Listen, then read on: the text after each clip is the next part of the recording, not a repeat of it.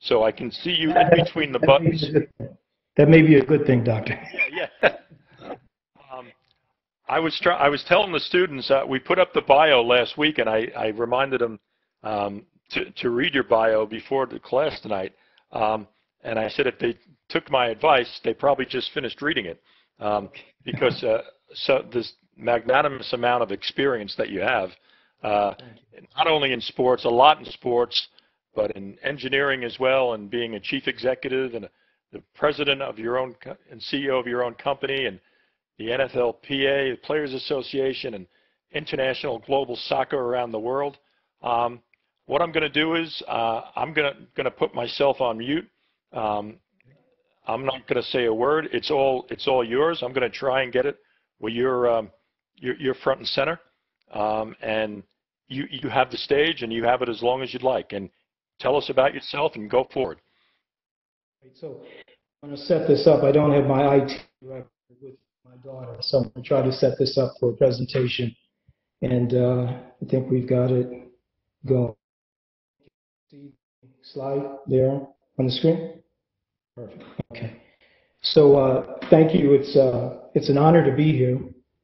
Um, and Dr. Riordan, thank you for inviting me. Uh, this is a true honor. Um, and uh, I'm, I'm, actually very excited about being able to spend some time in class today. FAU has been a very important fixture in our lives, my family. Uh, we live nearby. My two daughters uh, spent countless hours playing soccer and practicing soccer uh, with Team Boca on the on the campus fields. And actually, my my youngest daughter, her graduation, she went to Oxbridge in Palm Beach, and her graduation was on campus uh, two years ago. So um, it's it's it's today being able to share with you guys and speak with you guys is is small and humble way uh, that I get the opportunity to finally give back to a great great institution. So it's very important to me. Um, so my name is Anthony Hilliard. Uh, I'm the CEO of the Sterling Group. I've been uh, involved in the sports industry for over 25 years, uh, longer than some of you probably have been uh, alive. Um, as a sports lawyer, I've guided the careers and negotiated endorsement and employment contracts on behalf of an exclusive group of world-class athletes who have participated in leagues on five different continents worldwide. And I've represented and advised athletes in all major sports football, basketball, baseball, soccer, golf, and tennis. But the focus of my practice, uh, the, the area that I spent the most time with, uh, has been in international basketball and international soccer. Um, I have had the great opportunity to work with, and I've earned the respect and trust of some of the greatest coaches in professional sports as well as college sports. Smith, Roy Williams, uh, David Blatt, Nick Nurse, who's a friend of mine. We used to go to tournaments together over in Europe. I can't believe that he's now in the NBA. Uh, Bill Guthridge, Jimmy Johnson. But the reason why I have these relationships with these individuals is because I earned their trust by doing the right thing in business with them as well as doing the right thing in business for their players. Um, I'm here to tell you, and I want to remind you, a lot of things that go on today. I want one thing to stay with you guys, and that is your integrity and your honor in this business is a precious commodity, and it's the most important thing. People remember you if you keep your word and you do what you say. And this is this is a, a competitive sports-based business. So when you say something, people intend for you to do it. And if you can keep that in mind, you can go very far in the business. Um, I've been invited to talk a little bit about the global business of sports. This is a topic that I could spend two, three semesters talking about. Uh, but what I'd like to do is do a flyover maybe at 50,000 feet and uh, talk about some important aspects that you'll be able to take with you uh, when we, we finish today. Um, so in the first section, I'd like to talk a little bit about my background and experience because I think it's important to know uh, what I do and why I do it. Um, then to get into the whole discussion of the global business of sports and just what it is, talk a little bit about the revenue, its size. Um, and then in section two, um, I'd like to talk about the impact of COVID-19 because this has been a major speed bump in our business recently. And then uh, speak about the rapid rise of global professional basketball. And Dr. Bearden, please uh, let me know. I've got a lot of material to go through. I'm going to do my best to go as quickly as I can, uh, but there's a lot of material that's here. We're all set. They they need a lot of material for their final project anyway, uh, Anthony. So uh, yeah, uh, as much as you can give them, that that that's awesome. I've been I've been worried about uh, trying to go as fast as I can so I can fit into an hour. So great that I won't rush and I'll go through as much information as I can just to give them as need to much I rush. Sounds good. So um, I grew up in St. Louis, Missouri, and I enjoyed a phenomenal school and academic career. Uh, I was a national merit semifinalist. Uh, I was all-state in soccer, football, and track. Uh, I won seven state track championships. Uh, the 200 as a sophomore, the 100, 200, and 400 as a junior and senior. Um, I've been told that I still have a couple of records that are standing there, and it's kind of strange to me that since I'm 102, uh, that I still have some records. Um, in 1980, I was actually selected as Missouri Athlete of the Year, which is very important to me because now around states they have Mr. Football and Mr. Basketball. Look, in the old days, it was everybody thrown into one pot, and my real sport was track and field. So to be able to win that against basketball players and football players meant a lot to me. I was recruited by schools all over the country. Being a Midwesterner, uh, Notre Dame, and a Catholic kid too, uh, Notre Dame always stood out in my mind. Um, but I applied to a wide range of schools at my father's recommendation, and I was lucky enough to get into two Ivy League schools. And uh, he really wanted me to be the first one in my family to be able to go to an Ivy League institution. So I went to Dartmouth, and uh, this was a huge leap for a Midwestern kid, you know, from the plains and the flatlands of the central part of the country to go all the way up into the mountains and the cold and the snow of New Hampshire. Um, it was a big challenge for me in the classroom as well as on the track. Um, but I look back at this challenge as a student athlete many, many miles away from home. And I realize now that it actually taught me the benefits of discipline, hard work, organization, and perseverance. So I'm very indebted to that process. Uh, and that experience made me uh, the man that I am today. And since I mentioned uh, student athlete, here's photographic e- evidence of me as an athlete uh, some 200 years ago. Uh, this is actually highly classified information, so I'm going to ask all of you to sign an NDA before we leave today. But this is actually um, the 4x4 uh, relay at the end of the meet. Um, as a freshman, I was able to anchor that leg. And this is important to me also because of the fact that it was the first time that Dartmouth ever beat Harvard.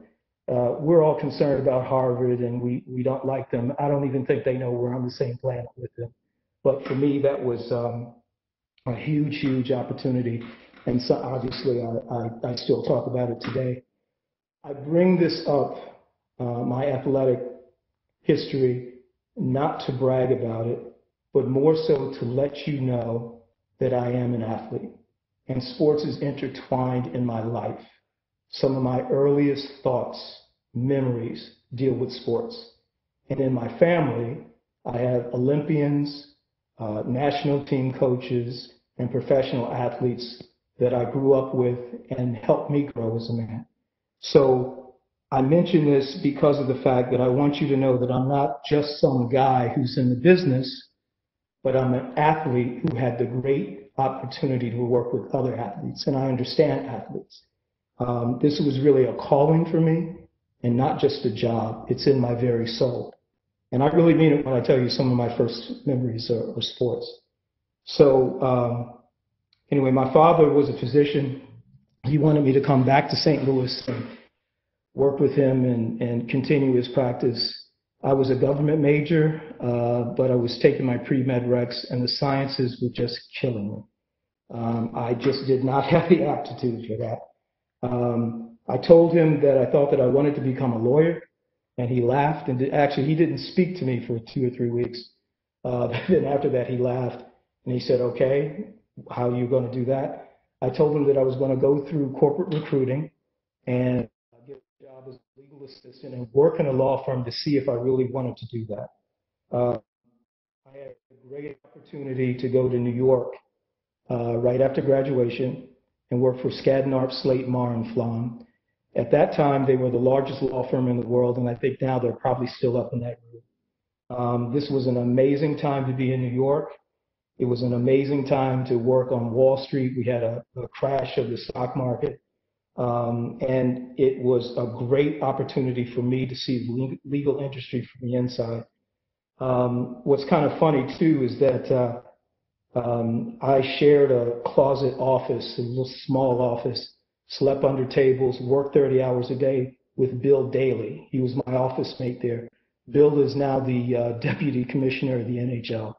And I think it's, it's really funny that we were together and we worked hard and ran around that office uh, like we didn't know what to do next. Uh, and we both followed our dreams and were able to work in the sports industry.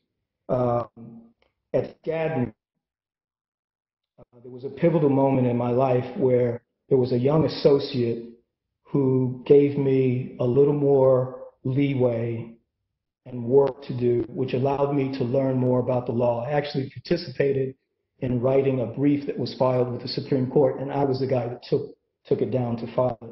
His name was Erwin Schwartz, and um, he was a wonderful man, and he just opened doors for me. Uh, he went to BC Law, and he thought that Boston College Law School would be a great place for me because I was familiar with Boston. Uh, Boston was the uh, outpost of civilization living up in New Hampshire. Dartmouth is about two hours north. I spent a lot of time there. He also thought that the environment there would be very, very close to what I experienced at Dartmouth. I was like, great, sounds good to me. I applied, I got in. Um, and uh, what I didn't know is that Robert C. Berry was there. I went to BC thinking that I'd be a corporate lawyer. Uh, but I, uh, Robert C. Berry, when I found out he was there, I fell out. For those of you who don't know, Professor Berry is considered the grandfather of sports law. He was the very first one to teach it as a discipline. And this is back in the time when we had no sports management, no sports business programs. There was zero.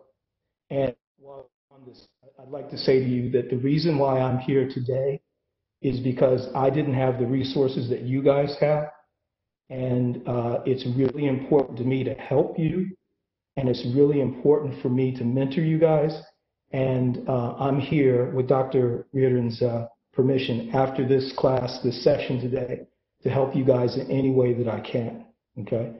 Um, but Professor Berry was the very first one to distill this down into a discipline and teach it. When I met Professor Berry and we talked about this, and I found out that I could co- combine my love of law, sports, and business. The heavens opened, the angels were singing. There was nothing else that I wanted to do but work in this industry. Uh, Professor Berry was writing books. He was going to conferences. He, I was doing research for him. I was organizing a lot of things. So I fell into the business through Professor Berry. Um, my first two clients, uh, my second year of law school were Rick Fox and Eddie Pinckney of the Boston Celtics. Uh, I was setting up autograph sessions for them in malls around Boston. Um, but Professor Berry opened these doors for me, and he was a father to me, a father figure. Uh, it's kind of odd too that I lost my dad and Professor Berry the same year, 2011. But uh, just like Erwin Schwartz changing my life, Professor Berry changed my life also. Um, Professor Berry was a little different from everyone else. Um, he actually worked with Bob Woolf. He was the second partner with Bob Woolf. Bob Woolf was the first mega agent in the business in Boston, representing Larry Bird, Clemens, and all those guys. You guys probably don't know about him, but he was the very first one, uh, a super agent, so to speak. Um, Bob consulted with him and stayed behind the scenes, but he did not like the business at all. And one of the things that he instilled in me is that, well, especially when he found out that my first job was going to be representing athletes, he sat me down and he told me that I had a responsibility to serve and empower athletes. He wanted me to make sure that their lives after their competitive uh, years were over were just as productive and fruitful and comfortable as the time when they were competing. I've never forgotten this advice, and I can confirm to you that in my entire professional life, I've been a servant leader, putting athletes first. And this goes back to me talking to you about being an athlete because they, uh, I am one and, and I grew up around athletes. Uh, this was a calling and the opportunity to be able to uplift athletes, young athletes, older athletes, and, and, and be a servant leader was easy for me. Um, I helped men, young men and women maximize their competitive ability while they played, but I also made sure that while they were playing, uh, they started to plan for the future and have a smooth transition into the second chapter of their life. Um, it's funny, a couple of years ago, uh, I woke up and I realized that I've always been a mentor, disguised as a sports lawyer, disguised as an agent. um, I owe all this to Professor Berry, and his influence resonates through me, my work to this very day. and On the topic of being a servant leader and a mentor to the people that you work with, uh, I want to clear up a major misconception about the business that I've been involved in for many, many years. It's portrayed in the movies and television as being very glamorous. Uh, what's the movie Jerry Maguire? I've never seen it. I've seen maybe five minutes of it. Um, should be banned. I'm sorry? It should be banned. Yeah, the worst movie ever made. Sorry. Yeah, well, there you go. But I, I'm saying it on the five minutes that I saw uh, of it, though. But um, the bottom line is, is that the way the business is portrayed in the media, television, is that it's glamorous and all you do is hang out with famous people. That's about one and a half or maybe two percent of it. The other 98 percent of it is a highly competitive wild, wild west, anything goes type of business. That's why I speak about being a life manager. I speak about being a servant leader and taking care of athletes because you can get really caught up in a game that doesn't exist and there's no finish line. Um, majority of agents are not that good. Most of them have not learned their craft uh, they're more committed to building their bank accounts and building fame, and they're motivated by money and power. Um, and I can tell you that anyone entering the business uh, for those two reasons will not last long. I have seen them come and go. Come and go. Even, even many other industries who thought that they were, well, they were very successful in their other industries, but thought they could just walk into this one and do well. Uh, there have been many times that I wanted to leave the business because it just wasn't right for me spiritually. Um, but I always stayed in because Professor would always say to me, be a point of light in a very dark business. Um, so, you know, for me, instead of chasing the money and the power, uh, I was in to the business of building careers and enhancing lives and hopefully helping athletes so that they could help generations in the future, their families. Um, I wasn't just a sports lawyer. I'm not just an agent.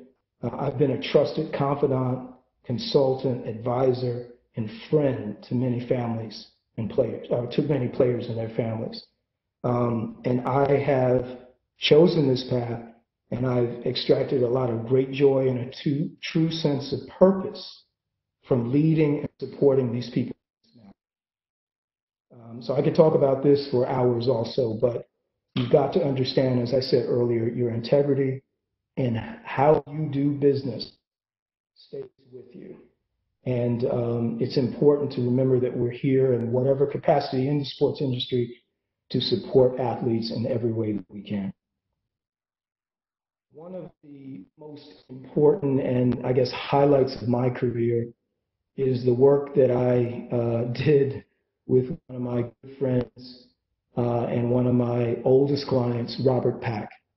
Um, this is actually a picture from Robert from the 1994 dunk contest at the All-Star game. Uh, this guy is 6'2 and uh, could fly through the air. Actually, looks like Jordan in that picture. Um, the bottom line is, is that uh, because it was in Minneapolis, uh, he was robbed and they gave it to J.R. Rider. Um, but the bottom line is, is that Robert Pack, uh, I helped him put together a 14 year NBA EuroLeague career. He's now an assistant coach for the Washington Wizards.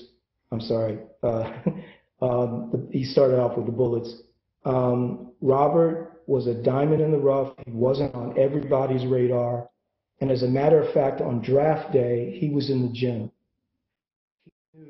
I knew that he wasn't going to get drafted. And we were okay with that because we were committed to each other and we were committed to, to doing all that we could to realize his dream.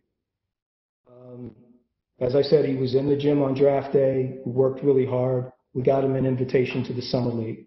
He played so well in the summer league, he got an invitation to vet camp. He played so well in vet camp, he got a one-year deal to play with the Portland Trailblazers. And that year, he went on to make the NBA Finals, the 91-92 season with the Chicago Bulls. They lost, uh, but he played so well that after that, he was able to parlay that into a multi-year deal, which then led to a 14-year career. Um, this is building a career. It's easy representing a lottery pick. Your phone rings. It's a totally different game when you are trying to bring someone up with a diamond in the rough and trying to get someone the exposure, someone the contract, someone the endorsements who wasn't one of the chosen people before the draft started. Um, what's more important and not just that story about the career, is that Robert's from the Ninth Ward of New Orleans, one of the poorest areas in the country. Uh, he took me back there to, and showed me the house where his family, he and his sisters grew up, and I, I just couldn't believe it. I couldn't believe it. He also took me to an alley where he got into some argument with some guy, and a gun was placed to his head.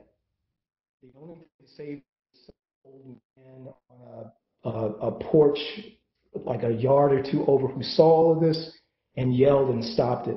That was an important moment for him because he made a conscious decision at that point to have a straight life and to do the right thing, to go to school and, and do everything the right way. Um, Robert was easy to work with because he was humble. Um, he listened. He did not spend a ton of money. He did not buy jewelry and cars. He saved, he prepared. We talked about what he wanted to do. He talked about coaching. He talked about coaching at a high school level or a college level, but the fact that he's coached in the D League and the NBA went beyond his wildest dreams. Um, he gave me the name Pitbull, which I appreciated. Uh, it told me that he trusted me and that he knew I'd do the right thing for him it was my job to say no, and I had no problem saying no often. Um, he came up with nothing. I mean, dirt poor. But through his his uh, career and the money that he made, and he saved it, he built a huge home for his mother in Houston. He built a huge home for himself. He also seeded uh, several businesses for all types of family members with capital to raise them up also. And this is what I was talking about earlier about being a servant leader and a life manager and helping athletes grow and transition uh, into life after sports. Um, I used to talk to his mother more than I spoke to him. But that was also a sign to me that he trusted me and he knew I would do the right thing with the most important person in his life. Um, so uh, we used to have a we used to have a saying, and he lived by it, is that you can live like a prince, you don't have to live like a king, right? And because he adopted that attitude and internalized it, he was able to save a lot of money. He's very, he does not have to coach right now. He does it because of the love of the game. Um, so also, I talked about that 2% of the glamour stuff and the 98% of the hard work. Um, this was in Minneapolis, so my 2% of the glamorous stuff uh, was actually satisfied because we went to several parties after this dunk contest because he was very upset. He should have won. You guys can go back and take a look at it on YouTube. Uh, they gave it to J.R. Rider. But we wound up at a uh, an after party at Prince's house, and I actually got to meet Prince and his wife uh, Mayte, I think her name was. So uh, even though I was saying the two percent, there are certain things. Prince is my favorite of all time. He's the goat in my book. Um, but the small perks do help uh, with all the heavy lifting and things that you do uh, for for others. Um, another guy who I'm very proud of. You probably know this face. You've seen it, or you probably heard his voice because he doesn't. Uh, he talks all the time. Is John Salley. Um, I was a very, very trusted advisor to John Salley on everything from business, basketball, family. Um, John and I started working together after he had been in the league for quite some time and won two championships with the Pistons. Um, frankly, and he doesn't mind me talking about it, when I started working with him, he was in dire straits. And he worked with a big agency before we met, but because he got a big contract uh, coming into the league and he spent big and there was no one there to do the right thing and to help him out, um, he got into some trouble.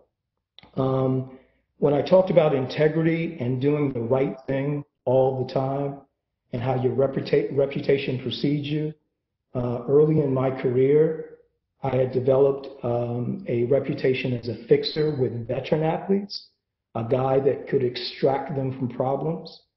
And John was one of these guys that heard about me and we started working together. Um, I am so thankful and proud to be a part of the second chapter to his life. Um, I am the guy that consoled John Salley in 95 when he was left unprotected by the Miami Heat in the expansion draft. He couldn't believe it. He said, I have two rings. What? They don't want me? The truth was, John was getting a little older and was transitioning from a starter to a role player. Um, but I'm the guy that sat him down and told him, hey, look, this might be an opportunity. And if we manage it the right way, who knows what can happen? Well, what that led to was him being drafted by the Toronto Raptors in their inaugural year. Uh, Isiah Thomas was the general manager, is why I brought him in. But I'm the guy that negotiated him out of that contract with the Raptors and into a contract with the Chicago Bulls. And that was the season um, that they went on to have the record breaking 72 win season that was just broken by the, the Warriors, I think, a year or two ago. Um, and it was also uh, the year that he won his third championship with the Bulls when they beat the Supersonics. Um, I'm also the guy that helped him start his entertainment career, which took off. He had actually a talk show that was kind of like uh, a late night talk show that a lot of people don't know about. You've probably seen him in Bad Boys, the original Bad Boys. I'm the guy that kind of helped him because that's what he wanted to do. Um, he had the gift of being able to go into entertainment or into television. Um, so we worked on that uh, toward the end of his playing days. And I'm also the guy that brought him back to Los Angeles Lakers in 1999 to get his fourth championship ring. Um, and John is very unique because he is the first player or was the first player to win four championships, three different teams, three different in three different decades, and in two different millenniums. Uh, I am really proud of the fact that when we met, John was not in the best of conditions, but when he went off and uh, we're still friends today, but I don't represent him anymore. But when he made that transition into the next chapter, the third chapter of his life, which is entertainment, I actually helped him build that important second part. So, um, so that's a little bit about me. Um, I, I, it's important for you to know who I am and what I've done. Also to let you know a little bit about the inside of the business. I hope it's helpful. Um, so I, I, I, I want to get to the global sports business, but before we get there, I think it's important to really look at the power of sports um, because it has an odd hold on our minds and our hearts, and we've really figured that out lately when we don't have it, just how important it is. But also because of the fact that it's this very strong emotion uh, that you can feel coursing through your veins that sports creates that is the real driving force behind the rise of importance and acceptance of the sports business in society. Um, I actually taught a class recently about the turn of the century, uh, early 20th century, and how this all started. And it all started with the passion for sports. Uh, this uh, statement here by Nelson Mandela, which is very important to me. Sport has the power to change the world. It has the power to inspire. It has the power to unite people in a way that little else can. Sport can awaken hope where there was previously only despair. And whenever I see that, I think about Jesse Owens in the Berlin Olympics and how his performance changed history, um, especially with Adolf Hitler looking down at him at the time. Uh, sports is a very, very powerful phenomenon. Sebastian Coe, who was a tremendous Olympian and is now the president of the IAAF, he states that sport a universal language, building more bridges between people than anything else I can think of. And I couldn't agree with him more. Sport is that one factor that unifies everybody. It doesn't matter how tall you are, how short you are, what your religion is. It's a way that we all can bond and enjoy a special moment or some aspect of the game. It is an incredible unifier. And that's what we're talking about the power of sports. The experts have found that sports is a socio-cultural phenomenon, that it intertwines with character and history of families, towns, regions, and countries. We can all remember where we were when certain events happened. We've all sat around a table and discussed a certain sports event. And there are actual cities that are intertwined with particular games or athletes, like Chicago is with Michael Jordan, especially during that amazing time uh, that he showed up that there was another level to the athlete and another level to what teams play. I, we also witnessed that in soccer with Brazil. Brazilians love their national team. Wars have stopped, conflicts have stopped. It doesn't matter if you are poor and live in the favelas or you are wealthy living in some mansion. All the Brazilians get together and they love their national team, which is one of the greatest soccer teams, national soccer teams ever in the history of the game. So I wanted to talk a little bit about the power because when you understand the power, you understand influence. When you understand influence, that opens the door to other things. Um, so the global business of sports. Uh, what is the global business of sport? Uh, a very long definition here, but I think it's important to go over for several reasons. The, the global business of sports is a highly specialized market. And people, activities, organizations are involved in the production, facilitation, promotion, or the organization of activities and experiences whose core focus is on sports.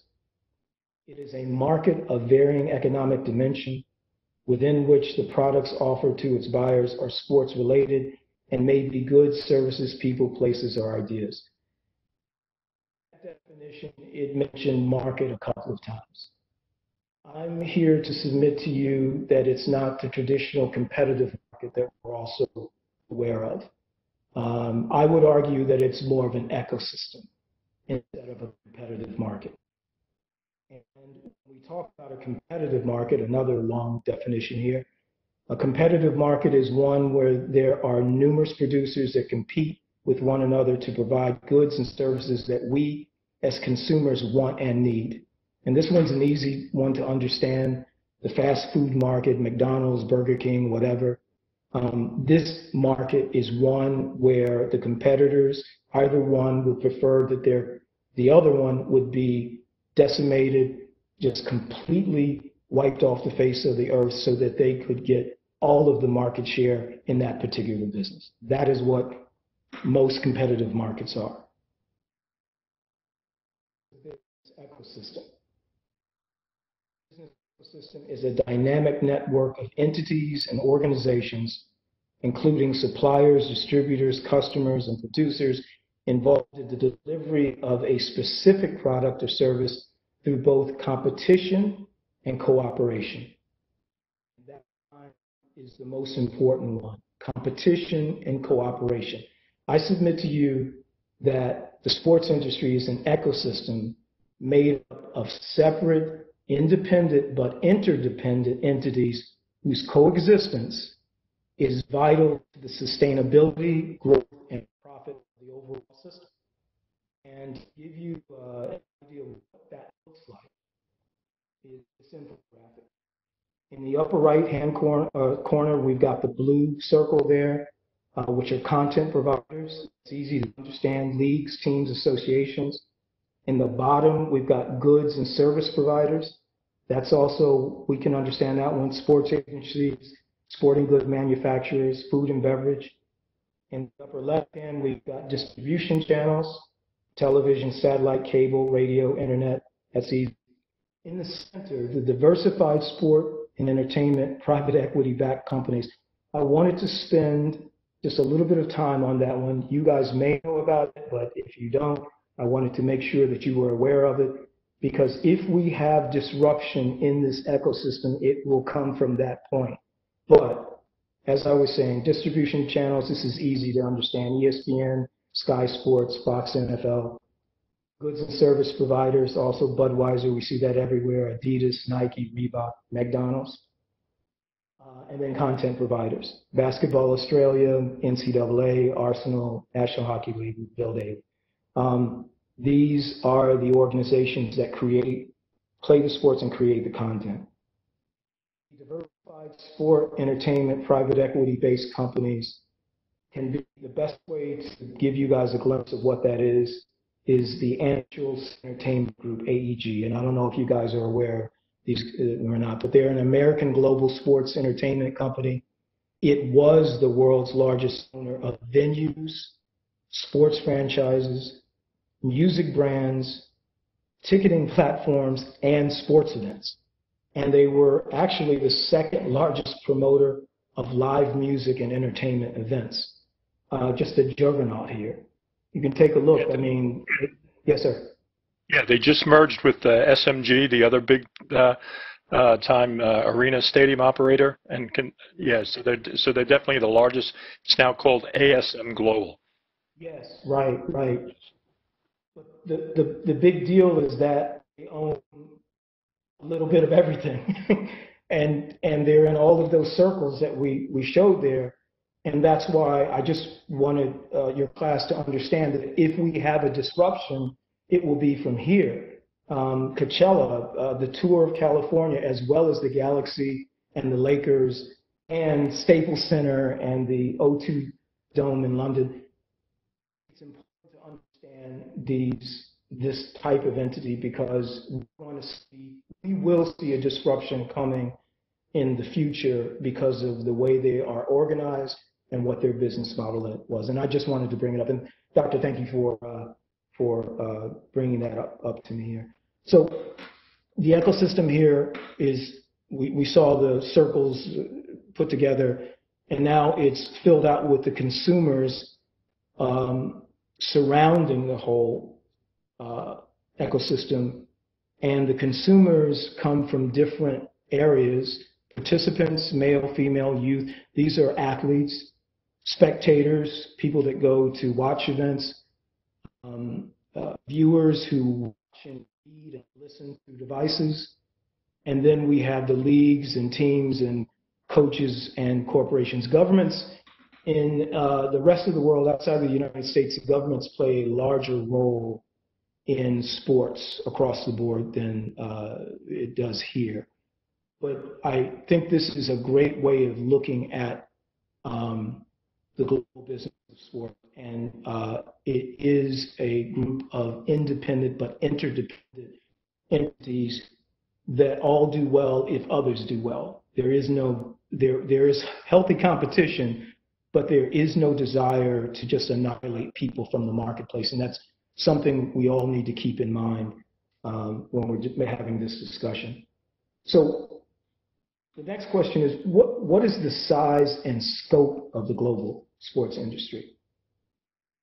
Uh, global sports market reached a value of nearly 489 billion in 2018, having grown at an annual growth rate of more than 4% since 2014, and it is expected to grow at an annual growth rate of about 6% to almost 614 billion by 2022. Uh, we're throwing around numbers here in the billions of dollars. It doesn't seem much on paper, but this is significant. The sports industry is the second fastest growing sector for brands, outpacing the GDP growth of most countries. That is unbelievable. And it's a little difficult to wrap your mind around that. But always remember that revenue is power. And with power, you have influence and everyone wants revenue so that they can influence others to do what they want or purchase what they're selling. And that's why it's important to understand the revenue aspect of the sports industry because it does give it a certain perch or a certain position of importance in the global economy. A snapshot of the North American market, sports market size stretching from 2009 to 2023. Uh, this is in billions of dollars. You can see in 2009, it's just under 50 billion. And in 2023, it's projected to be at 83 billion just in North America alone. Top revenue producing sports leagues worldwide, the National Football League at 16 billion, uh, the National Basketball Association Indian Premier League Cricket, 6.3 billion. Australian rules, rules, football, one of my favorites, uh, 2.5 billion. And little old Ligue 1, uh, French league, uh, at only 1.5 billion. um, these are some just mind-boggling numbers. But again, revenue is power. look at some of the most valuable sports franchises worldwide. These numbers fluctuate. These are relatively on point. Dallas Cowboys at five billion. That's mainly because of the Star Complex, which is a tremendous place. I actually toured that complex when it was being built. 4.24 billion. Uh, any Knick fans in the house uh, at four billion? Um, that's really because of the real estate also um, the garden sitting over Penn Station in New York City. And then moving through the Lakers at 3.7 and then the Giants, New York Giants and the Los Angeles Dodgers at 3.3 billion. And all of these numbers are staggering, but they do indicate the influence that these these franchises wield and the influence that the leagues and the sports that they play in uh, the power that they wield and influence they wield also.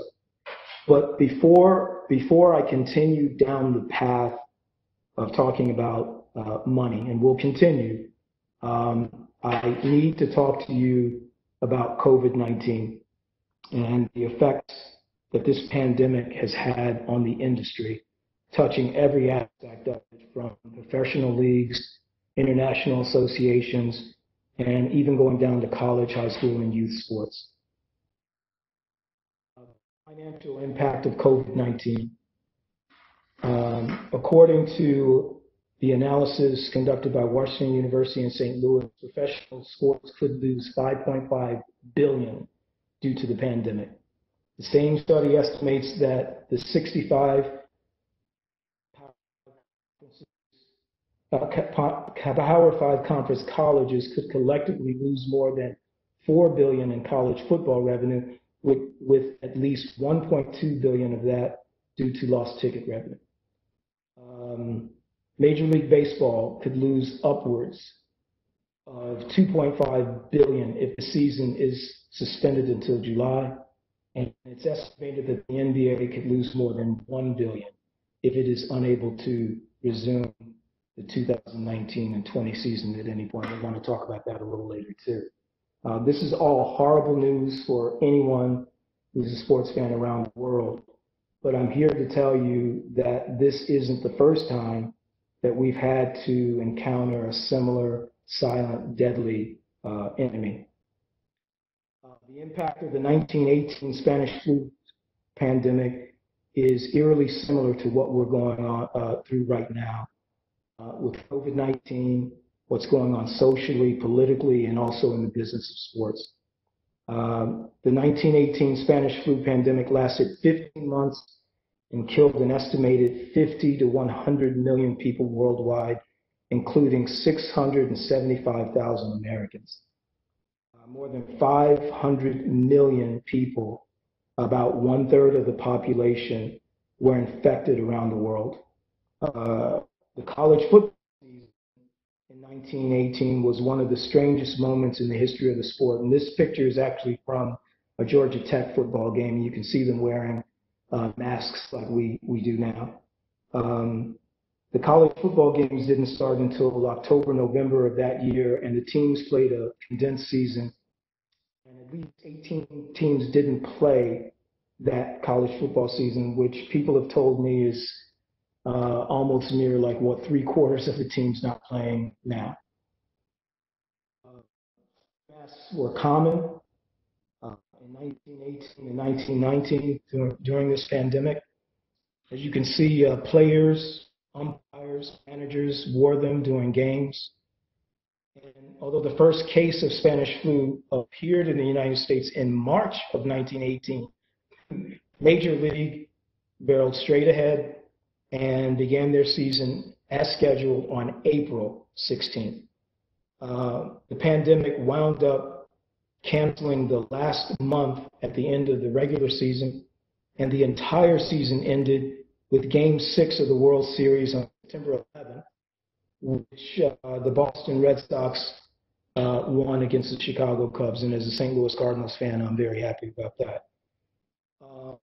Historians have determined that this World Series uh, actually helped spread and cause a second wave throughout the country of the United States, which is a big fear of sports restarting now.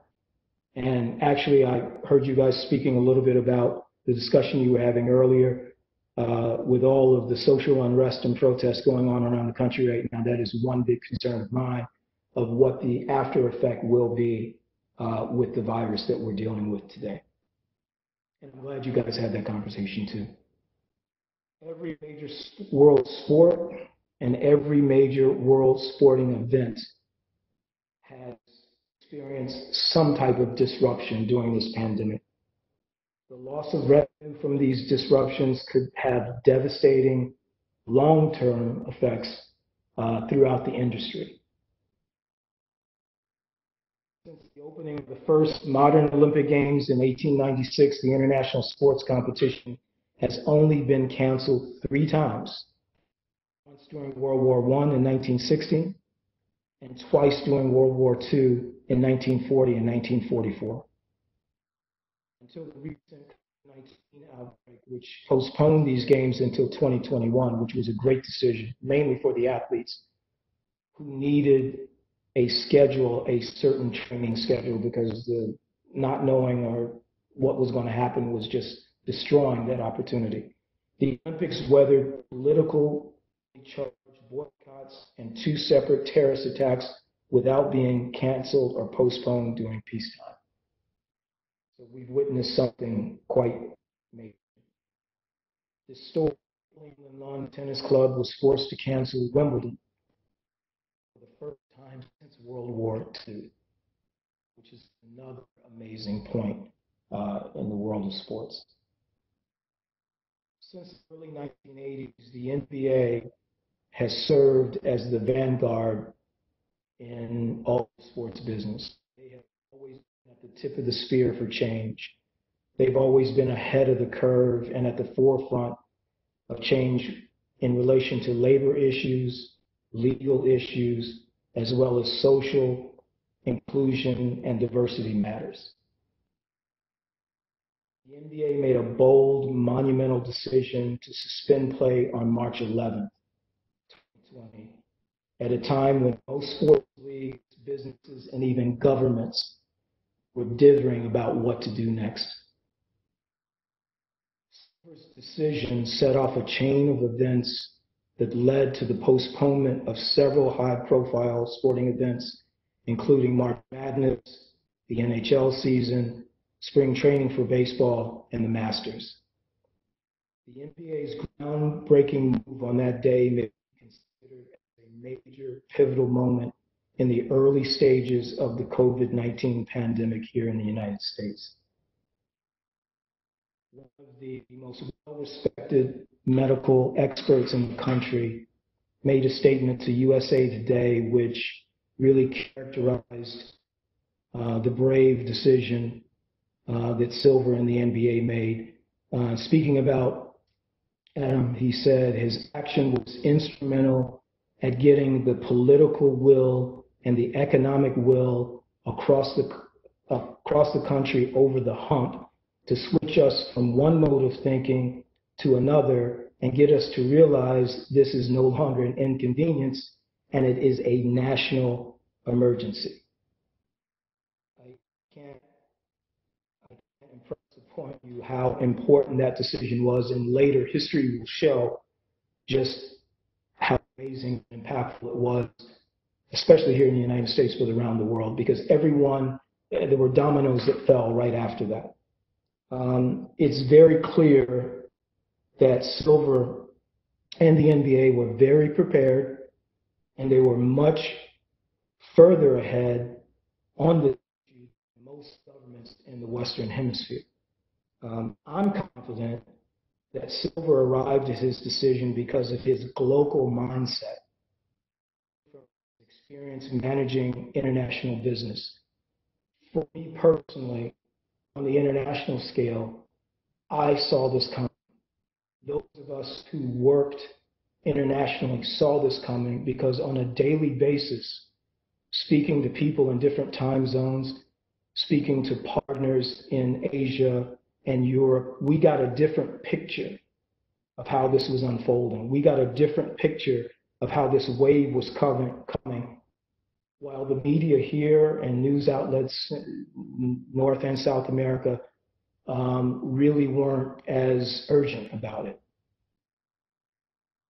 Uh, I mentioned the global mindset, and in the context of business management, um, effective global leadership requires a local mindset, which is thinking globally It requires a keen understanding of the interconnection of global and local issues. It is the adaptation or synthesis of global and international events into local context. It requires leaders to be like explorers guiding their organizations through unfamiliar and turbulent environments.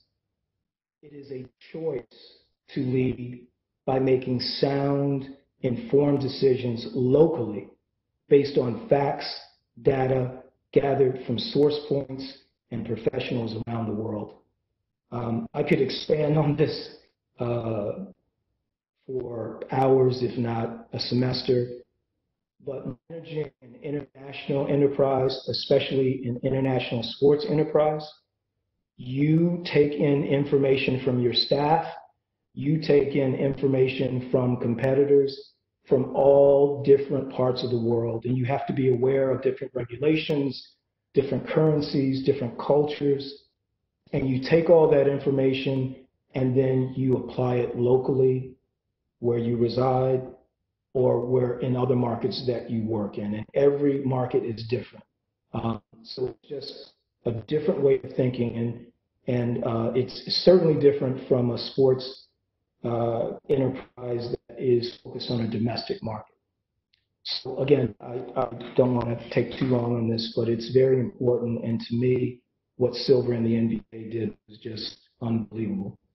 So what is the next step for the NBA? Um, there's a comment that Adam made on the 8th of May, which really I thought was great. Back then, now we know what happened today, but back then, the ultimate issue is how much risk we're all comfortable taking. And when I saw this, I, I just found, found it so interesting because to me, it indicates that Silver took the time to weigh the very future, the very existence of the NBA, in the well-being of his athletes. And that's one exercise that uh, you lose sleep over. But he has a responsibility to the commissioner, and he also has a, uh, to the league, the well-being of the league, but he also has a responsibility to the well-being of, of the players uh, that are part of that. Uh, but this comment to me also indicated that he did his homework. Uh, he wasn't guessing. It wasn't a gut feeling to him. He gathered as much data as possible to make an informed decision uh, to navigate and lead his organization through a difficult time. Um, so I, I, I, think that this told us something, uh, kind of gave foreshadowed what was going to happen, but I can only imagine uh, the sleepless nights that he had, and also the days of just soaking in and processing all that information from different points around the world. But again, he did that and he made an informed decision. As we all know today, the, the NBA plans to restart the 2019-2020 season by bringing 22 teams to the Disney ESPN's Wide World of Sports complex in Orlando. The games will begin on July 31st and conclude no later than October 12th. The league will create a secure NBA-only biosphere within the complex that will include strict health, safety, and coronavirus testing protocols for all of the participants, not just the players, but the limited uh, team of coaches and support staff. We've got 13 teams from the Western Conference, nine teams from the Eastern Conference, eight regular season games per team, uh, play in for the eighth seed. Um, basically, we're going to have basketball games on television all day long, NBA basketball, all day long, NCAA format, which, if this is done correctly, is going to drive interest and viewership through the roof because there's such an appetite right now for sports. I've spent a lot of time over the past couple of months consulting with leagues and teams about what the other side looked like. And the time is now to plan and not to dither and wait so that we could actually hit the ground running. And we are at that point now. And as far as Adam is concerned, in the midst of a storm, Using the global mindset, the NBA made rational, informed decisions based on a stream of empirical information from different global sources and moved quickly to save its future. You guys are aware of lost revenue, but there are repercussions of lost revenue with the salary cap contract values that would go well into the future that would devastate the league and, and could have changed it from the way it looks right now. And this is what was hanging in the balance. I, I had to talk about COVID-19. I'd like to pick where we left off. I think we're on this slide with the most valuable sports franchises in the world.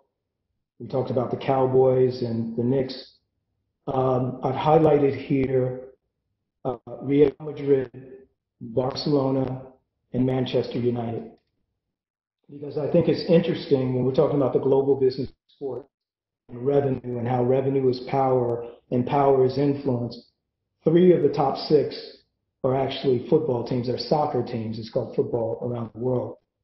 Um, and these three in the top six here happen to be juggernaut brands globally, a following world of a worldwide nature, not a regional nature, but a worldwide nature.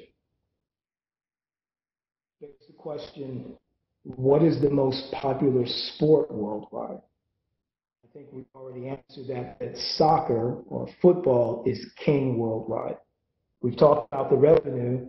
We need to talk about the viewership because in addition to the massive revenue uh, that it generates, the global viewership and spectator participation figures of world football is simply massive. Uh, 3.6 billion turned, tuned in to watch the 2018 World Cup in Russia, making it the biggest single sport competition ever viewed on television. The English Premier League uh, the top division in England and the top in the world, is the most watched professional sports league in the world. It is broadcast in, to, in more than 213 territories to more than 650 million homes across the world. 650 million homes with over 5 billion viewers tuning in to live action at some point every season. For the 18-19 season, uh, the average Premier League match attendance was approximately 38,000 while the aggregated attendance figure across all matches was the highest of any league in the world at 14.5 million. Uh, this is why football is the most popular sport and is key uh, in the world.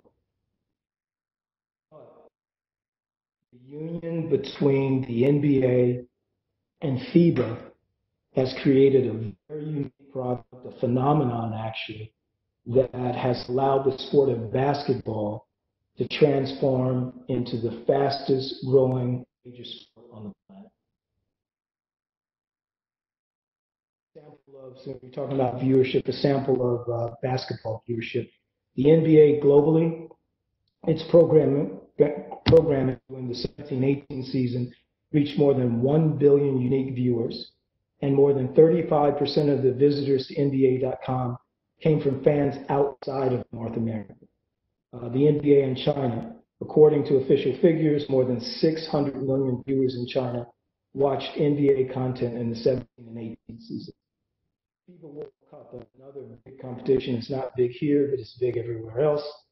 Uh, China's broadcast, it was it took place in, in China. China's broadcast coverage of the 19 FIBA World Cup drew the tournament's TV largest TV viewership with state-owned CCTV recording the two highest live ratings of the World Cup, including 68 million and 60 million for China's respective games versus Poland and Korea.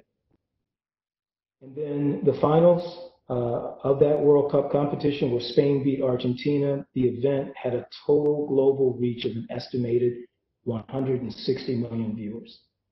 Um, these numbers are amazing and show that basketball is rapidly uh, approaching football uh, for the top position. So the question becomes, how did international basketball evolve and grow at such a rapid pace? Um, it's funny for me to see international basketball games now on television. My first uh, time witnessing it, I was actually studying abroad and was leaving a soccer game and walking across the parking lot and seeing tons of people filing into an arena. And said, what's going on over there? And they said basketball. And I said, they have basketball here? that was in France. but international basketball recently has just found uh, unprecedented popularity. And the reason why it has risen to the point that it is at now is all to due to this man, David Stern.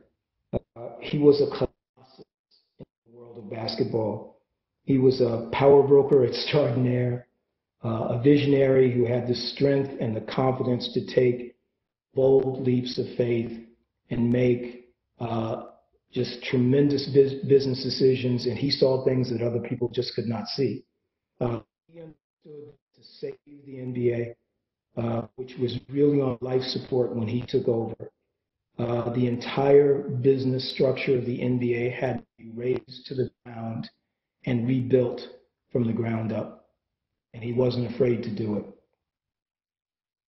Uh, Jerry Colangelo, uh, former owner of the Suns and USA basketball chairman, I, I love this comment of his. He reinvented himself in my mind. He was young, very highly thought of lawyer when he came into basketball, and he made himself a marketing guy.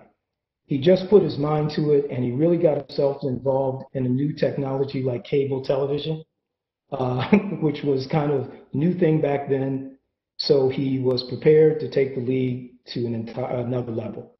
Uh, I love this quote, uh, and I think it's funny. Uh, new technology like cable television. Well, uh, I remember 1984 very well, and I'm here to tell you that cable television was really, really cool back then. Uh, the ability to watch MTV and videos, I was transfixed back then The truth of the matter is, is that David Stern had a gift. Uh, he understood that some new, it wasn't going to be cable television, but some, some new aspect of cable television. Uh, at the time, some, some new powerful iteration of technology that he couldn't even really comprehend at the time. He knew that at some point it would be available to him in the future, and it would be very crucial to his plans to project and amplify the NBA product to consumers beyond the borders of North America. David literally pulled the NBA out of the financial abyss and into an imaginable era of prosperity. He served between February 84 and February 2014. He was the commissioner in the history of North American team sports and managed the NBA's growth from fears of extinction in the late 70s to a $5 billion enterprise in 14. NBA television revenue increased more than 40-fold in that span, crossing the 1 billion threshold. Uh, he added new franchises, two in Canada uh, the Raptors, and now the Memphis Grizzlies. Uh, in 2004, the league reached 30 teams with the Charlotte Bobcats, now the Hornets, the team that Michael Jordan owns. Uh, Stern created the women, women's NBA, the WNBA, which is tremendous. I love women's basketball. In 1997, and the uh, NBA's developmental league, which is now known as the G League, in 2001. Uh, the G League is very important because it is about to be a game changer. I actually had a client uh, in the developmental league the first year and used to argue time and time again with the NBA about the need to have a viable second division. They listened. They now have created a second division that's really built on the model of uh, the academy system in Europe. They're attracting a lot of new uh, young talent and we're about to see a true game changer, uh, and we're about to see the NCAA uh, be put between a rock and a hard place. Uh, I talk about that forever, uh, but we'll move forward here. Uh, in 1985, and this is pretty incredible, Jerry Reinsdorf brought the Chicago Bulls for 16 million. In 2014, shortly after David left the NBA, Steve Ballmer of Microsoft fame purchased the Clippers for two billion. That's quite an increase. And uh, on my side of the fence, uh, the fact that in 1984 the average salary was 250,000, it's now grown to approximately nine billion, uh, nine million, forgive me, uh, is an amazing thing. Is an amazing thing, and it wasn't easy. Um, here's a quick snapshot of the National Basketball Association's total league revenue. uh, spanning from 2001, 2002 season to 17 and 18. And you can see where it started off just a little over two and a half billion dollars.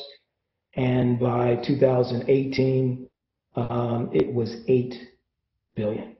Um, this is all the work of David Stern, uh, who uh, understood what was necessary in order to make things happen. He understood that globalization and technology would allow him to effectuate a transformational change to the league and its business model. Globalization is the key to the league's survival. Um, he understood that in order to grow the league properly, uh, he would have to find consumers outside of the borders of North America. There was no way, like other sports, uh, I'm going to say the NFL, I'm going to say Baseball, they do things internationally, but not in the way that the NBA has. Um, and David understood way back then that in order to grow it to the point that it is now, that he had to find consumers outside of the borders here.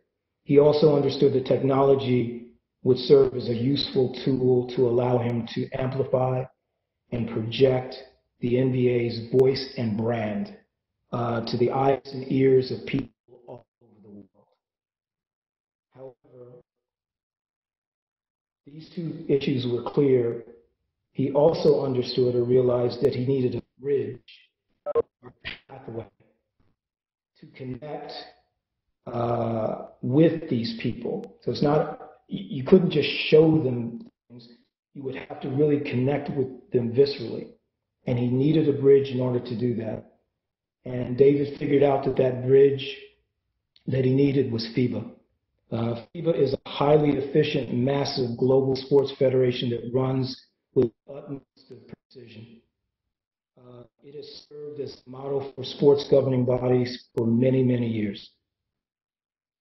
Um, the association was founded in Geneva on June 18, 1932, two years after the sport was officially recognized by the IOC. It takes care of everything basketball, the rules, the spec it specifies the equipment, facilities required, it organizes international competition. It even controls the appointment of international referees. Uh, it also has 213 uh, national member federations located in five zones Africa, the Americas, Asia, Europe, and Oceania. Uh, FIBA's headquarters, the House of Basketball, is located in Switzerland on the shores of Lake Geneva. Uh, they have five offices uh, around the world. The one in Miami just opened uh, two months ago.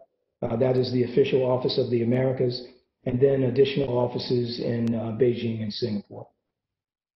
Uh, literally, literally, FIBA is located around the globe in all of these zones and all of these continents that we've talked about. Uh, but when we've discussed these zones, Europe, Oceania, Africa, we know the major countries there, uh, but a lot of people don't understand that the smaller, lesser known nations uh, where basket, basketball is very prominent and popular. Uh, how many people knew that there was basketball in the Cook Islands or Samoa or Antigua, Iraq, uh, or Kazakhstan? But this tells you the reach that FIBA has, and David understood this. And in order to grow and to get more consumers and to have interest, he had to go to the four corners of the earth earlier that FIBA manages uh, and operates some of the most popular and most watched elite competition in global sports, the EuroLeague for women and the EuroLeague for men. Actually, the EuroLeague, or now called the Basketball Champions League, is the highest level of basketball outside of the NBA. You have a great mi- mixture of European and world talent on top teams, as well as former NBA players and soon to be NBA foreign and American nature. The competition is amazing. And if you love basketball, you need to really check it out. Um, but all of these competitions are major, major uh, projects in each of their zones and countries. And the biggest one, of course, is the Olympics. Uh, the FIBA oversees that. FIBA's global partnership, uh, sponsorship partners is a collection of some of the uh, first class companies in the world. We see Nike there, Tencent, the huge uh, uh, uh television uh, company in China, Aeroflot from Russia. their list of global sponsorship partners is first class. Broadcast partners that beam their product, FIBA's product, into the homes and citizens of countless countries around the globe is also massive. I'm sure you recognize some of these uh, that are here, but also Canal Plus, which is in France. Uh, this is just a wonderful collection of broadcast partners. FIBA is a first-class organization uh, from top to bottom. So to recap a bit, Stern understood that technology would allow him to amplify the project uh, amplify and project the brand and voice of the NBA. He understood that FIBA would serve as the bridge and allow the NBA to connect with consumers in far-flung places around the globe. But he also understood that there was one final item or one ingredient that was missing. There was one, one final ingredient that needed to ignite interest uh, about the NBA FIBA partnership worldwide. Uh, one that would generate excitement and enthusiasm about basketball on every inch of the globe. And that And that is was the dream team. That was the missing ingredient. Um, the formation of this team was a silent moment for all of professional sports and especially international basketball. Uh, the Dream Team created the perfect storm in the marketplace. It was something that we had never seen before. I know you guys know about it, but I'm here to tell you before that time, there was nothing like it at all. Uh, it actually merged the NBA star power uh, with the highly organized and vastly efficient infrastructure of FIBA. This was an amazing moment, and all of us in sports were transfixed by it.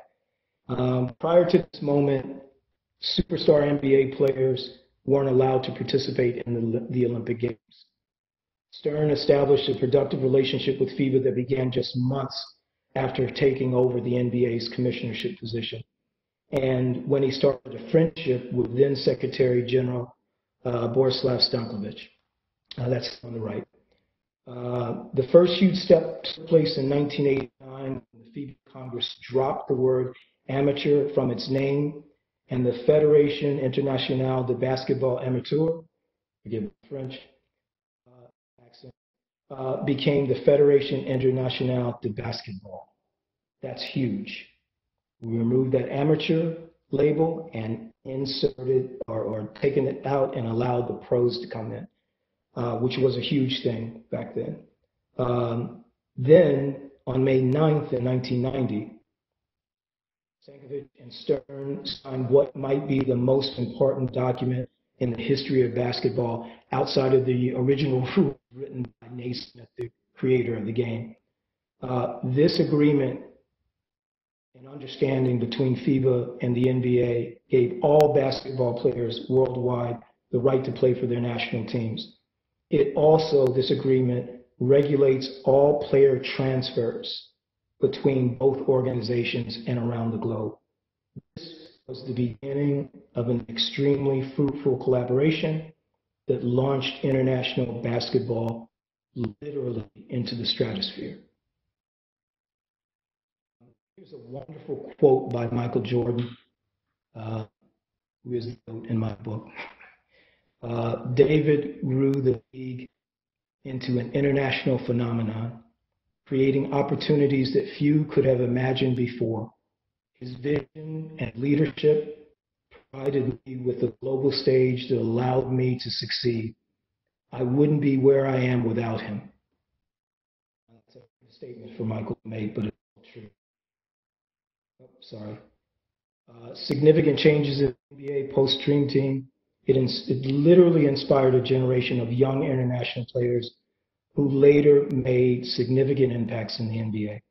Significant increase in the number of international players competing in the league and a significant rise in the number of international games and competitions around the globe. And most importantly, unparalleled interest in the game of basketball worldwide. The whole world was transfixed at seeing these stars play, and that's all they wanted after that point. Uh, many, many foreign players who were in the NBA that when they were young and they saw the dream team, that motivated them to work and train to become the pros that they are today. Here's a list uh, of many players that just uh, did some amazing things. Uh, Manu Ginobili uh, used to be the managing director of North America for the largest international basketball company in the world, Interperformances, and Manu Ginobili was one of our clients. A lot of people don't know that he's from Argentina, not from Italy, uh, but a wonderful man and had a great career. Dikembe Mutombo, Yao Ming, all of these guys changed everything for the NBA when they came in.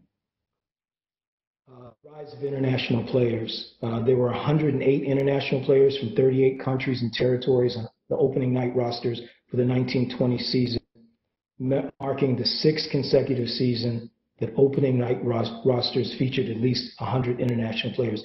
And you've got to understand, we go back in the 70s, there were only a handful, if that. Uh, so this is amazing, the transformation after 92 with the, the Dream Team. Uh, the record for international players in the league is 113, and that happened in the 16-17 season. And the record for countries and territories represented in the league is 42, and that was established in the 17-18 season. International games. There's a lot of information on this slide here. You can see it. But the bottom line is there were no international, virtually no international NBA games uh, back in the day. In the 70s, we had four, and they were more like a traveling exhibition. the first one was in 78 with the Washington Bullets and Maccabi Tel Aviv. Uh, but they were really exhibition matches. We moved from four to 27 in the 80s, which is tremendous. And in 87, the McDonald's Championship was introduced, and this was a hugely popular, popular world event uh, that started off in Milwaukee uh, and were held all throughout Europe. I mean, you, it was the cities where this, these events were held. It was in, the cities were just full of people that just wanted to come in and see the spectacle. But 27 in the 80s, 18 in the 90s, going up to 41 international games in the 2000s, and 85 in the 2010s. This is amazing. And you've got to understand that way back before David Stern, we hardly had any NBA teams that had contact with international markets at all. None. Four, maybe. I'm sorry I get excited, but I lived through this. My, my, my life and my professional career is aligned directly with the rise of the NBA. I graduated from college in 1985. Uh, I watched Michael Jordan hit that shot um, in 84 against Georgetown and then come into the league. So I've seen all of this happen, and I'm thankful for it because I knew what it was like before that time. Um, the McDonald's uh, Championship in 1997. Uh, this, as I said, was one of the most visible international basketball competitions in the world. Uh, this was featured on the uh, ESPN Last Dance documentary. Um, I had the great fortune of attending this event. Uh, I'm such a loser. I, I, got married a couple of years before this. Wasn't able to take my wife on a on a honeymoon because I was too busy. Uh, I understood that the McDonald's Cup was going to be in Paris. I had a client, Steve Rich, University of Miami who was playing in Argentina for Atenas de Cordobas. Uh, he was going to play one of the four teams. It was Olympiacos, um, Racing PSG, uh, Atenas, and the Bulls. And I remember knocking on the door and going into uh, the study there and saying to my wife, hey, you know that honeymoon we never had? Why don't we go to Paris in October? Uh, but it was really, she understood. And this is some of the sacrifices. My family sacrificed so much, put up with me over the years of doing this type of work. Um, but it was an amazing experience. Um, I actually met with Jerry Krause in Paris, hung out with the Bulls and other players, and the city was just electric. It was simply electric. I can't begin to explain to you just how special that was. Um, But uh, here's a picture. Steve is on the left there, University of Miami. They called there. He, he's got a bald head, but uh, uh, soon thereafter he adopted the Dennis Rodman uh, colored hair and piercings and everything, and that's what they called him, the, the baby Dennis Rodman. But this is him playing for Atenas uh, in Argentina. So as the impact and the footprint of global basketball grows, the NBA and FIBA are engaged in a battle with football for the hearts and minds and market share of the people who reside in a few of the most densely populated places on the earth. Um, I don't know just how much the public is aware of this this battle uh, between football and basketball, and it's fueled by sneaker companies. It's all to gain market share and to get new consumers. Um, but I, I'm not really sure if the general public knows about these amazing projects that uh, so much energy and funds are being poured into by both sports. And I just wanted to talk about them just a little bit in case you guys were not aware of them. Uh, first, the NBA in China. China is a key strategic nation for the NBA. NBA's largest business partner outside of the USA. NBA China, uh, a separate business arm of the NBA, was valued by the Sports Business Journal as being at $5 billion. There's a statue of Kobe Bryant, who was, and a lot of people don't know, the most active and visible NBA player in China before his death. Um, he spent many, many hours doing camps and working with kids. And what some people don't know is that he invested millions of dollars in organizations to feed and educate poor Chinese children. Um, Kobe was a great man, and I miss him uh, dearly. Uh, quick little thing on the day of his death, there were a lot of rumors circling that Rick Fox was on that that helicopter. And as I told you earlier, Rick Fox is uh, was one of my first clients and a good friend, and I was scared to death at the rumors that were coming back. Um, and I, I, cannot look at a picture of Kobe or Gianna. Now I'm still, it's, my heart is heavy about it. Kobe was a force of nature, um, but he was doing a lot of things behind the scenes uh, like this that a lot of people don't know. But there's a statue of him at the Guangzhou Academy of Fine Arts Museum in China. Um, there are NBA offices in Beijing, Shanghai, Taipei, and Hong Kong. And in March of last year, the league opened up the second largest NBA store outside of North America in Beijing.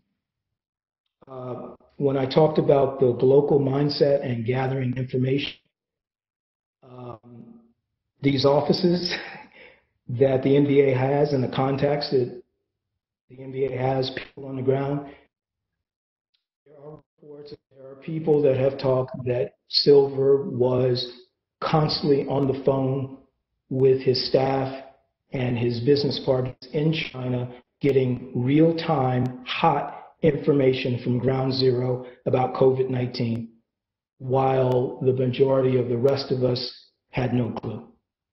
Um, so I'm just trying to link the two together and, and also uh, to get you to understand that managing a global sports business enterprise is totally different than having a domestic one that focuses on sport, doesn't go beyond the borders.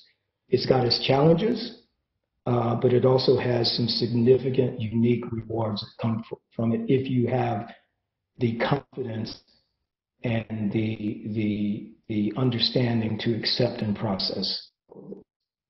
So anyway, to, to move on, a lot of people don't know that the NBA is in Africa. Uh, I'm sure you guys heard about its time in in China, but uh, the NBA has spent a lot of time developing uh, the continent of Africa for its product.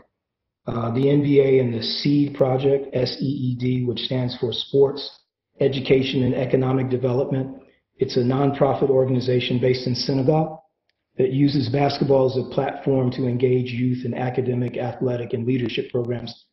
Uh, they partnered with the NBA to launch the NBA Academy Africa. And uh, this NBA Academy Africa is a lead training center uh, in Senegal for the top African male and female prospects. and it's the first of its kind on the continent. And what's even more significant is that in addition to the advanced basketball training that they get, each member of this academy is enrolled in a local high school and receives academic and financial support from the NBA. So they're changing lives, changing lives. Um, I don't know if you guys knew that the Ball or Basketball Africa League, uh, which was going to be Africa's premier professional men's basketball league, was scheduled to take place and begin in March of this year, but it was postponed indefinitely. We don't know when they're going to start. The league is a joint effort between the NBA and FIBA uh, with sponsorship from Nike, the Jordan brand, and Pepsi. Uh, 12 teams will compete in two conferences. Regular season games will be in seven host cities around Africa in Tunisia, Senegal, Angola, Nigeria, Egypt, and Morocco. And uh, the first ever finals are scheduled to be held in Rwanda. Um, I know there are a lot of people that don't know about this, and uh, it's a shame that it was postponed due to COVID 19 Africa is a place that the NBA has long been interested in, as well as all of basketball. Uh, but this was the first step to actually get some organization and some uh, resources behind major projects to start at the grassroots level. Uh, and it's a shame that it wasn't able to start, but perhaps we'll be able to get it started uh, by sometime early next year in 2021. Uh, NBA in India. Uh, a lot of people don't know about the time that the NBA has spent in India uh, but tremendous resources and time. Uh, 2019 NBA India Games featuring the Kings, Indiana, and Indiana Pacers was held at the SCI Dome in Mumbai. Uh, this landmark event marked the first competitive games played by teams from any North American sports league on Indian soil, the first ever that the population in India is one of the world's densest. Again, it's about reaching hearts, minds, and developing market share. Uh, the NBA and FIBA and the BSA, the Basketball Federation of India, initiated a social responsibility program for children, Basketball Without Borders, featuring NBA Hall of Famers, past and present stars. And this uh, initiative focuses on education, health, and wellness for children. Uh, the league also established the NBA Academy Women's Program, which I am a big fan of, uh, uh, women's sports. Uh, program camps at the American School of Mumbai and other venues across the country. And these are hosted and featured uh, by uh, WNBA Hall of Famers and past and present WNBA stars. the NBA also conducts many junior NBA her time to play clinics for the NBA academies throughout the country. They are really focusing on female youth in India, uh, which is a tremendous social uh, and needed social agenda. Um, and it will be interesting to see uh, what transpires from that. Um, I have a good friend who uh, runs an academy in Ireland uh, he was a scout for teams in Australia, and he was sent to India uh, a couple of years back to start looking at talent, and he was really, really impressed by what he saw. Um, he actually uh, played professionally all throughout Europe and has a great uh, project going on for kids and also developing players in, in, Northern Europe. But the fact that he was excited about this whole project in India um, uh, when I heard about that, I was extremely happy. Uh, and what a lot of people don't know is that there are serious, serious plans for NBA and FIBA supported professional league in India um, before uh, 2025. So, uh, Dr. Rear, I, have uh, talked for a long time. you gave me a long leash. Um, is this a pretty good time to maybe uh, take some questions and maybe uh, bring down discussion uh, here to, to maybe a different format? Yeah, I think that would be a great idea. Um, your presentation was absolutely amazing. Um, it was, you know, it was way more that we could ask for. It was tremendous in terms of knowledge being imparted. I'm sure that uh, some of our students would have uh, some questions, and we could wind it down that way, uh, Anthony. But uh, thank you so much for what you just gave. I mean, that was just awesome. I have a quick question. Can you hear me okay, Anthony? Yes, yes, we can. Um, I'm a fellow track star myself. I'm a 400 hurdler. I wish time and time again that I was a great uh, short sprinter just to spare me the 400 meter workouts. Let me tell you, um, I'm going into my seventh year of full scholarship track and field. Um, was there ever a time where you felt in college? It's kind of a two part question. Have you ever felt um, when you went into college athletics where you felt that your hobby and your passion for the sport felt more like a job than something you look forward to doing and how so like if you did how did you kind of fight that to keep that motivation because you know track workouts completely different breed of working out you're you're on mute still your your uh mic is on mute I'm so sorry. Can you hear me Uh, now we can. now? Yes. Okay, I'm so sorry. Uh, this is why old people shouldn't uh, do. um, your question is tremendous, and uh, the 1976 Olympics in Montreal changed my life. It was at that point that I really. I was telling my daughter just last night. She has a journal that she uses, and I created a journal, and I was uh, writing in there what I was eating and what I was doing, and that's all I wanted to do was go to the Olympics. And I was kind of projected to maybe do the 84, 88 Olympics, and when I got to college, uh, I hit a wall. Um, I had done so much training as a young athlete. I had done, uh, again, I'm, I'm, I'm not bragging here. You'll understand this. Uh, I talked about winning seven high school championships, um, the 200 as a sophomore, and then the 100, 200, and 400 my junior and senior year. I was burned out. And I got to college, and it wasn't at first what I thought it would be. Um, my coach, uh, Carl Wallin, uh, and actually Vin Lananna, who you've seen him because he's been the the the, the uh, U.S. national team coach.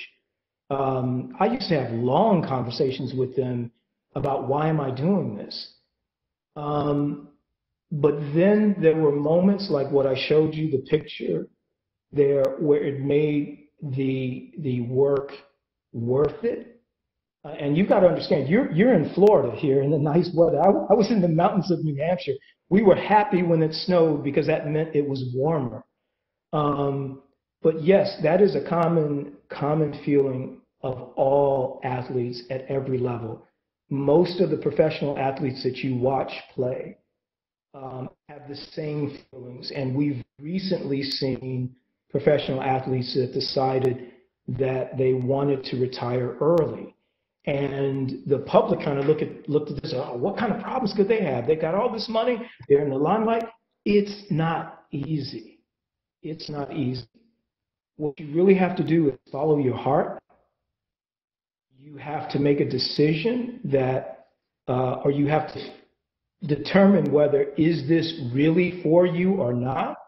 And and I've had this discussion with my daughter, who's a, a, a was a soccer player, and she's no longer playing in college um, whatever decision you make is okay, but you have to love it. You should not be doing anything that you don't love or you're not committed to. That goes for a sport, a job, or anything. Um, as a sprinter, uh, my father used to say, Tony, can you give me something in the middle? Either it's nothing or you're going 100 miles an hour. Yes, either you're committed or you're not. And it's okay if things change. But yes, I had those thoughts a lot, especially when I had to. Uh, you guys probably fly on planes. I had to ride on buses. We had pole vaulters with their poles in the middle and tripping over the aisles. And I'm like, what? What am I doing? Um, back on those times, and I'm happy that I have those memories. But it is natural to have those feelings. You have to soul search, and you'll know what's right for you if you keep asking it. And you have to make the decision. Don't run for anyone else. Do it for yourself. That's really what this is all about. Did I answer your question or did I? Yeah, it, it's a lot of discipline. It's very rewarding, but you know, when that alarm goes off, goes off at like six, and you're watching the sunrise, the first thing you're going through is pain in the morning. It, it's worth it when you cross the line after running Yes. sub 60 seconds in a 400 hurdle, but you know, going through it, you you battle a lot with why am I doing this? It hurts, but And, you, and your friends can do whatever they want, right? yeah. But you know, it's it's something special that uh, us student athletes get to appreciate because you got to manage school, maybe a part-time job, family, all these other things that might break other people down. But we just a certain tunnel focus that we just And, and, appreciate later on. I, I mentioned I mentioned the challenges I had in college. All that did was prepare me for now. I am now in my old age. I'm, I'm an aspiring triathlete, but I run distances, and I equate life to being a distance runner. But the discipline to be a distance runner was forged during those trying times. So I'm here to tell you that the doubt, the pain, all of that will make you a stronger person later on, and it's teaching you lessons. So just accept it, but continue to ask those questions, um, and you'll know what to do in your heart. Thank you. We have a few more. Okay, thank you. Larry. Yes, sir. We have a few more. Oh, I'm, I'm here as long as necessary. I enjoy this. Yes, sir. Um, I got two questions for you, Anthony. But first of all, congratulations on such a successful career and sticking true to your values and beliefs. Um, I uh, I played uh, college tennis and I went on tour shortly after college to give it a crack. Very difficult, so I was very curious on uh, which tennis players you had worked with. And the other curious thing I, I wanted to ask you was, uh, I lived in Australia majority of my life, and uh, I never liked Australian football, so I was so shocked to see such a high revenue. And I think you said you liked it, so I was curious to ask how an audience, you know, with only 24 million people uh, in Australia, uh, generated so much revenue. First of all, and second of all, if you do like the sport, why? Okay. Uh, your first, the first part of your question, Olga Puchkova, who at the time, or Russian, who was, uh, I think, in the top 10 in her age group, which was 16s at the time.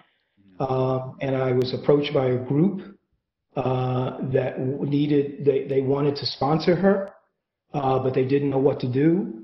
Um, so I literally had to put everything together for this entire project, which meant she was a minor, which meant we brought her here uh, and and took her down south. Uh, where was the Lipton? What's the name of the island uh, in Miami where they used to have the tennis tournament? The Lipton. Uh, Um, yeah, there was a temporary site. I can't remember it now. yeah, what, you take a bridge and go over the causeway from Miami.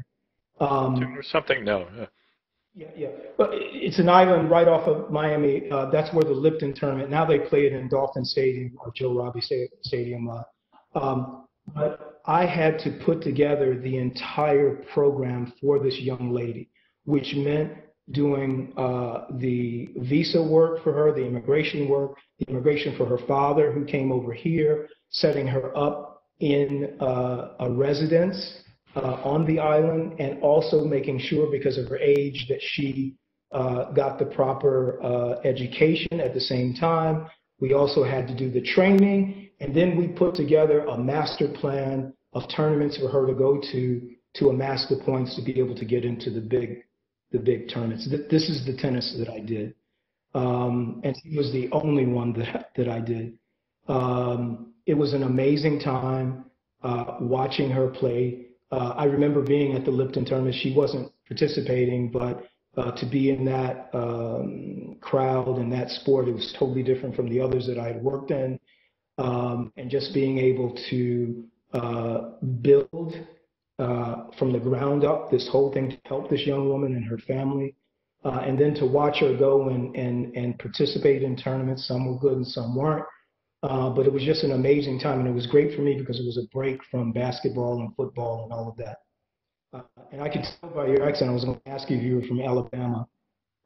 Um, I have spent a lot of time in Australia, a lot of time in Australia. Uh, I'm the guy who brought Kevin Brooks and Darnell Mee to the Adelaide 36ers, if you remember them. Uh, two NBA players from uh, the Denver Nuggets. Uh, Kevin was uh, 15th pick in the draft. Uh, Darnell came from Western Kentucky and in the league to the Denver Nuggets. But uh, here we go again, a second chapter for both of them, bringing them down to Australia. Phil Smyth, uh, the famous Olympian and the coach, uh, was a good friend of mine. So there was a period where I was commuting to Australia, spending a lot of time in Sydney, spending a lot of time all over. I've been to Cairns. Uh, I've been all over, and being there uh, in a new environment. I, I remember I've, I've been literally like I talked about the sacrifices that my family made or to put up with me. I used to go on business trips that were literally around the world. I'm not kidding, literally around the world. I'd go east and come in on the west. But when I went to Australia for the first time, uh, I'd been to Europe when I was younger and all that. It, I was a little. I remember arriving in Sydney at, late at night and I was like, wow, this is way back when cell phones had just started. And I'm like, wow, I've never been here before, and it's uh, uh, a place that I'm not really comfortable with. But when the sun came up the next day, Sydney was beautiful. Uh, went all over the country and spent a lot of time in Adelaide. And it was there that I started watching Australian rules, uh, also cricket, uh, and I just fell in love with it. Uh, the guys in white coats uh, after that. As, as far as the revenue is concerned, it's really uh, digital rights.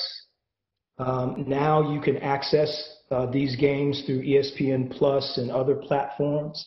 And they figured out a long time ago uh, that there was a market for that. Here in North America, it really didn't catch on. It does. I watch some of it uh, now when I can. Definitely a lot of cricket um, but it's really the digital rights they figured out they, they could go beyond the borders also, and the returns were a lot of money.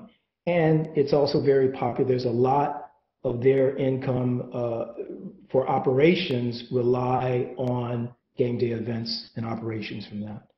So uh, I, I, actually tried to convince my wife of uh, uh getting a place. I love Adelaide. Um, Adelaide was very kind to me. You know what? I, I don't have it here. Um, I have a can of uh, Cooper's Draft. Is that right? Uh, Darnell is on a can of Cooper's Draft. I could run in the other room, but I'm not going. Um, after we won the championship, I was able to get him on a beer can. And for you Australians who know how important beer is to you, uh, that's one of the highlights of my life too. But I love Australia. It's a wonderful country. Um, I used to talk to the NBL. I'm happy to see what's going on there. They're now one of the the Ball brothers are there. Uh, but I used to tell them, I was like, hey, I remember being in Melbourne. What is the river that goes through Melbourne where the restaurants are right on the river before the stadium on the other side? I, I can't think. I'm not sure. I remember being in a restaurant and then walking to the game and hearing the buzz of everyone talking about basketball and then getting there and seeing a, pro- a product on the court that was very much like the NBA with dancers. And I told the guys, you have a great product and this should be bigger than it is. It seems like now they're doing that. Uh, just recently before the, uh, the, before the disruption from the virus, they had these huge outdoor games where there were like 50,000 people coming. So, um, yeah, I'm sorry. I'll go as as you notice here. I, I love to talk, but um, yeah, the only tennis was Olga Puchkova, um, and that was really more an operational issue with that. Um, and as far as Australia is concerned, I could move there tomorrow. I think it's a wonderful co- country and uh, wonderful people. Thank you for answering my questions, Anthony. I appreciate it. Thank you. Appreciate it. Great. Thank you. Next. Uh, Mr. Hiller, can you hear me? Yes, sir. Hey, Hi, how Mike. are you? Good. How are you? Um, so my question is uh, going back to when you were an agent. Um, what is the biggest change you've seen in athletes when you first started representing them to athletes nowadays? Yeah, um, I've seen a, a huge change. Uh, it's really in the self-awareness of the the athlete and understanding uh, more. And again, uh, I was part of this Jordan movement. That was such an emotional thing of watching that because I was there for many of those things that happened. Um, self awareness and an understanding of the power that the athlete has. Michael did not speak on social issues because he's just a private guy. And he chose to take the middle course um, because no one had reached the level that he reached as far as a brand is concerned. And my personal feeling is, that he felt, hey, this is so good and so special. And there's this whole thing of you, what did it say? You can't see the forest for the trees or whatever it is. I don't think he un- he knew it was big, but because he was in the middle of it, he didn't realize how big it was. But he knew it was big enough not to mess it up, so he stayed silent. I've seen I've seen a shift or an understanding in athletes, professional athletes, and even amateurs, but more professional, um, that they do possess power and the ability to speak and influence things.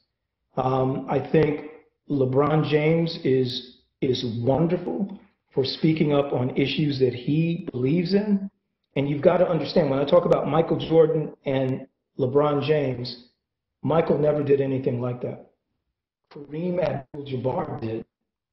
Um, you had a handful of athletes that, that spoke up, but there's a feeling now that uh, words can make a difference. And part of that, part of that, my feeling is, is the the advent of these things, right? Social media, uh, the ability to reach millions uh, directly, Twitter, IG, all of that. And I think that the younger generation has figured out what a powerful tool that was. I'm sorry, I'm a Michael Jordan. Um, he had none of this and he still was the king of the world. But if he had it, he wouldn't have used it. He's just that type of guy. Um, I also, what I like is uh, players, because I'm a pro player, figuring out that they have power uh, and making decisions about where they will go and play and I know a lot of people don't like it when they hear, oh, this player is talking to that player and they're going to play together when they get to Brooklyn and all that. I love that. Um, LeBron James has on this on, on the issue of free agency, LeBron James has kind of turned the pyramid upside down uh, by following the rules, but doing it his way. Now, is it the right way? I don't know. Um, he doesn't have six championships yet. He might achieve that but what he's done, he's gotten players to stand up and say, hey, and you, are talking to a kid here. Uh, my dad was an honorary doctor for the St. Louis Cardinals. I had Uncle Lou Brock and um, Uncle Bob Gibson. I didn't know who they were. Um, uh, but Curt Flood, um, I knew him, and he is the guy that changed free agency for everybody. But he sacrificed his career. He spoke up, and he lost everything I think now players understand that they won't lose everything. And because it's their life, and this is what I meant about self awareness, they have a, a stake. Maybe they don't want to go play on the West Coast, they want to stay on the East Coast. So I kind of like the fact that they kind of massage the, the rules. They don't break them, but massage the rules and take back some of the power. All right. Thank you for answering my question. Thank you, sir. It's a pleasure meeting you. I have a question. Yes, sir. All right, Anthony, I have a I have a statement first. So, yes, sir. When I was listening to what you were talking about as an agent, funny thing is I'm I'm planning to start my own agency as well, and the same thing that you said is about exit strategy. That was me and my partners. Um, one of our main focuses to talk about exit strategy. So imagine meeting a player for the first time, and the first thing you're saying to them is, I know you're going to start your career, but the first thing we want to talk about is how you're going to exit. Because mm-hmm. we got to think about most athletes, uh, they um after they retire after three years, they go broke. Yes. not not physically like they have no money, but they have to sell their house, right, and find work or do talk shows and stuff like that. So to me, uh, the number is too high. It's like over ninety percent. So that, so that's what I looked at. So it's funny you said that because that was my whole thing going into this. And then, then my I have two questions for you. That uh, what would be your advice for me as an upcoming agent? Okay. And how do you get your first client? Okay. I think that's a great question for a lot of people here, uh, Anthony, Well, you get up Yeah. overseas. Um, because of the agency stuff. Yeah, absolutely. The first statement about post-career planning, you said imagine having that conversation. I don't have to imagine, I had that conversation. Um, I actually remember a conversation, I'll, I'll withhold the name. Uh, the player didn't play in the NFL that long, uh, but it was right before the draft in the spring. We were sitting at a conference table, and I said that question to him. I said, This is great, we're about to go into the draft, but you really need to begin to think about what you want to do after this is over. I had several clients prior to that time. Uh, one guy whose dad was in the construction business and he wanted to start a construction business. So we did little things as he moved through his career. But this one particular football player, uh, what I will say is he was a running back from the University of Miami and he was a tough guy.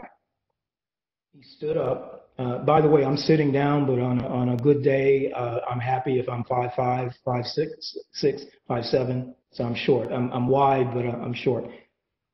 He leaned in my face and he basically uh, cursed me out.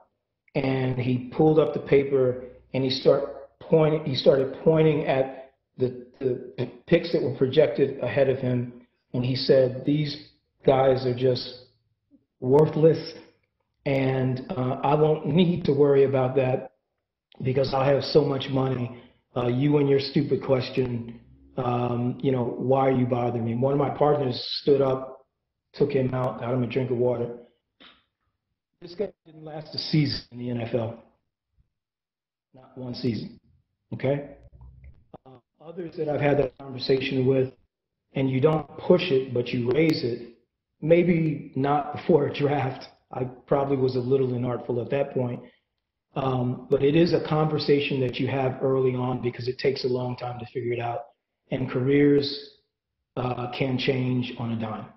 Um, I am very proud of having a post career counseling department um, in every firm. The firms that we didn't have it, I created it um, throughout my entire career. Uh, the other question about how to start is, is that what was the exact part of that? Advice for, for me as an upcoming sport agent, what, what would be the, uh, an advice? And the other question was, how do you get your first client? Uh, my my first client. An intern, Anthony? um, actually, yes. Good. But he's in New No, he's no, he's here. I keep confusing him with James. Yeah. yeah. Uh, my first two clients were Rick Fox and Eddie Pinckney. Um, I happened to be interning at a radio show in Boston. Uh, met the guy who uh, was the guy who was running it. Uh, was the sports guy at the radio station, and he interviewed them. I stayed in touch with them, and I talked to them, and I said, "Hey, I could maybe help you to make money on the side doing autographs in malls." All right. And they looked at me funny, and I said, "No, let, let's do one, and we'll see what happens." And um, there was a game called NBA Opoly that the uh, radio show host had, so we were selling those and having them autographs, and everybody made tons of money. And after that, Rick and Eddie started getting me in touch with a whole bunch of other people. And at the same time, I had a little bit of credibility because I was working in, uh, with Professor Berry and following him around. Um, had a really, really big fork in the road. Um, I did. Uh, I started working in the industry before I graduated from school. I added an extra year uh, at the business school, and I was, I guess, interning uh, with the Preferred Management Group out of New York. Um, that's how I met Robert Pack. Um, I was brought in uh, to go and recruit Robert um, that's how I met George Raveling. very scared of the man at the beginning. He's a big teddy bear now. Um, but you have to be, you have to have initiative. Um, you can't just send a resume out and expect to get um, some type of response from that. Um, the fork in the road for me was I got an offer from the preferred management group to go to New York and work as a sports lawyer or an agent. Um, and also at a conference met Dr. Harvey Schiller, who then uh, was the executive director of the USOC. And uh, I, I, told you earlier about my book that I keep notes about the Olympics. And I remember going out to Colorado Springs and for an interview, and I, I was like, hey, I always wanted to be in the Olympic complex. I'm finally here. But I had a real problem at that time with being a sports executive and working directly with athletes. And I went back and forth and back and forth. And I look at now, and I mean, well, uh, Harvey Schiller went on to run uh, uh, TNT, I believe, or, or the sports. Right. Um, and I think he did some big, some big, right, Braves and some big company up in Canada that was buying up a whole bunch of agents. Um, but I wanted to work with athletes you have to have an iron will. You have to knock on every door. You have to network beyond all networking uh, abilities. And you guys have tools that we didn't have. You've got LinkedIn and Facebook and all these. LinkedIn is an amazing tool. And I get I get requests all the time from young people like you. I'm the type of guy where I'm going to help out. Um, I just got a note two days ago from a guy who's going to start at Fordham Law, uh, I guess this fall, and he was asking me how to. Same question you. You have to have a thick skin. You have to have a, an abundance of energy. The thick skin to take the rejection. The abundance of energy to keep knocking on doors and to keep getting your name out there and to keep making calls. And I would tell you to go to events as often as you can to meet other people. Not the paid events. Um, well, they're trying to get your money, but just be visible and meet. Because when someone can associate a face with a name or a person and shake a hand, and I know we're in the middle of a pandemic right now, but things will change. Um, you've got to get out there and and really, really be uh, unrelenting uh, in order to break into this business. But it's possible. Um, organizations like the Sports Lawyers Association. Absolutely. That's what I'm talking about. They all, yes, sir. That's a great. There are many of them, and they have student uh, memberships or, or areas, and just going to these conferences. And there are a lot of guys like me who will take your resume and will speak with you. And I'm I'm here to tell you, with with Dr. Riordan's uh, uh, uh, permission, I'm here to help you uh, beyond tonight. Um, I can't move mountains all the time, but I can definitely open doors. Um, so I'm, I'm more than willing to do whatever beyond this. And uh, Jim, please share the information on however you want to handle it. Uh, Absolutely. Uh, but I'm more than willing to help everyone here and, and others who aren't just in the process. Thank you so much. We'd be honored to have you to do that. And thank you for offering that. Yes, sir. Yeah. So, Craig, did I answer your question? Um, Definitely answered it, and I've I've been networking, so I'm I'm think I'm on the right path so far.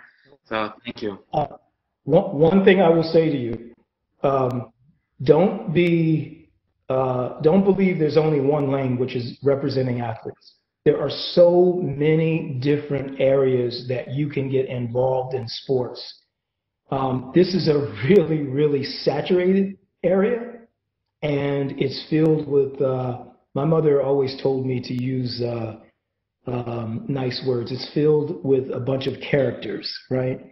Um, I have encountered characters, I've worked with characters, and I moved quickly away from characters because they're not what I am. Um, so if you choose to go into this business, you you have to understand that it's highly competitive. I tell you a quick quick story, if it's okay? I'm the guy I'm the guy that brought Antonio Gates to the NFL.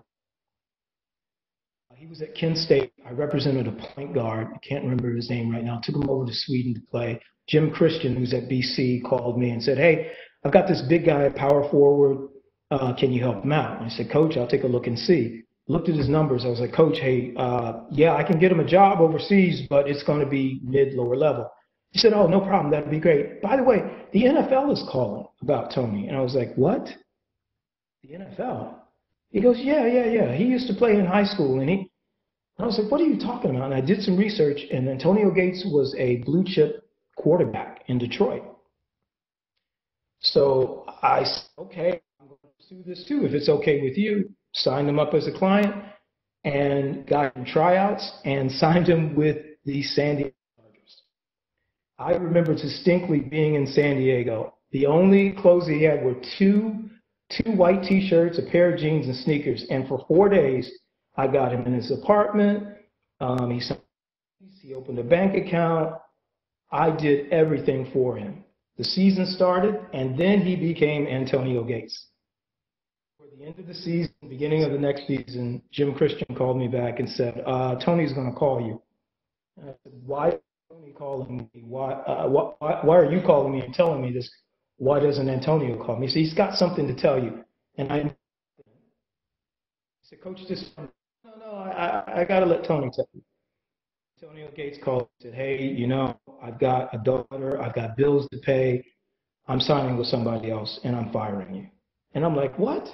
Are you serious? Nobody knew who you were, right? And uh, I'm going to say it because he knows I talk about it.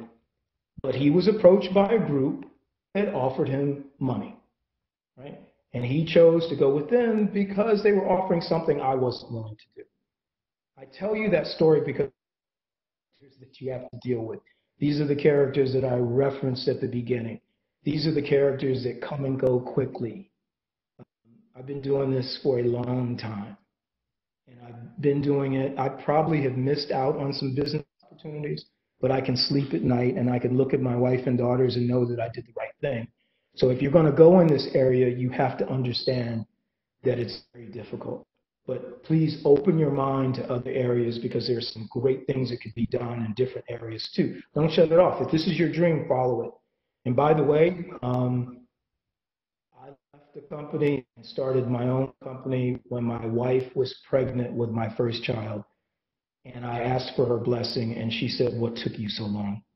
Running my own business was the scariest time and the most rewarding time. So good luck to you on that. I'm here to help you in any way that I can to achieve that because I know what it's like.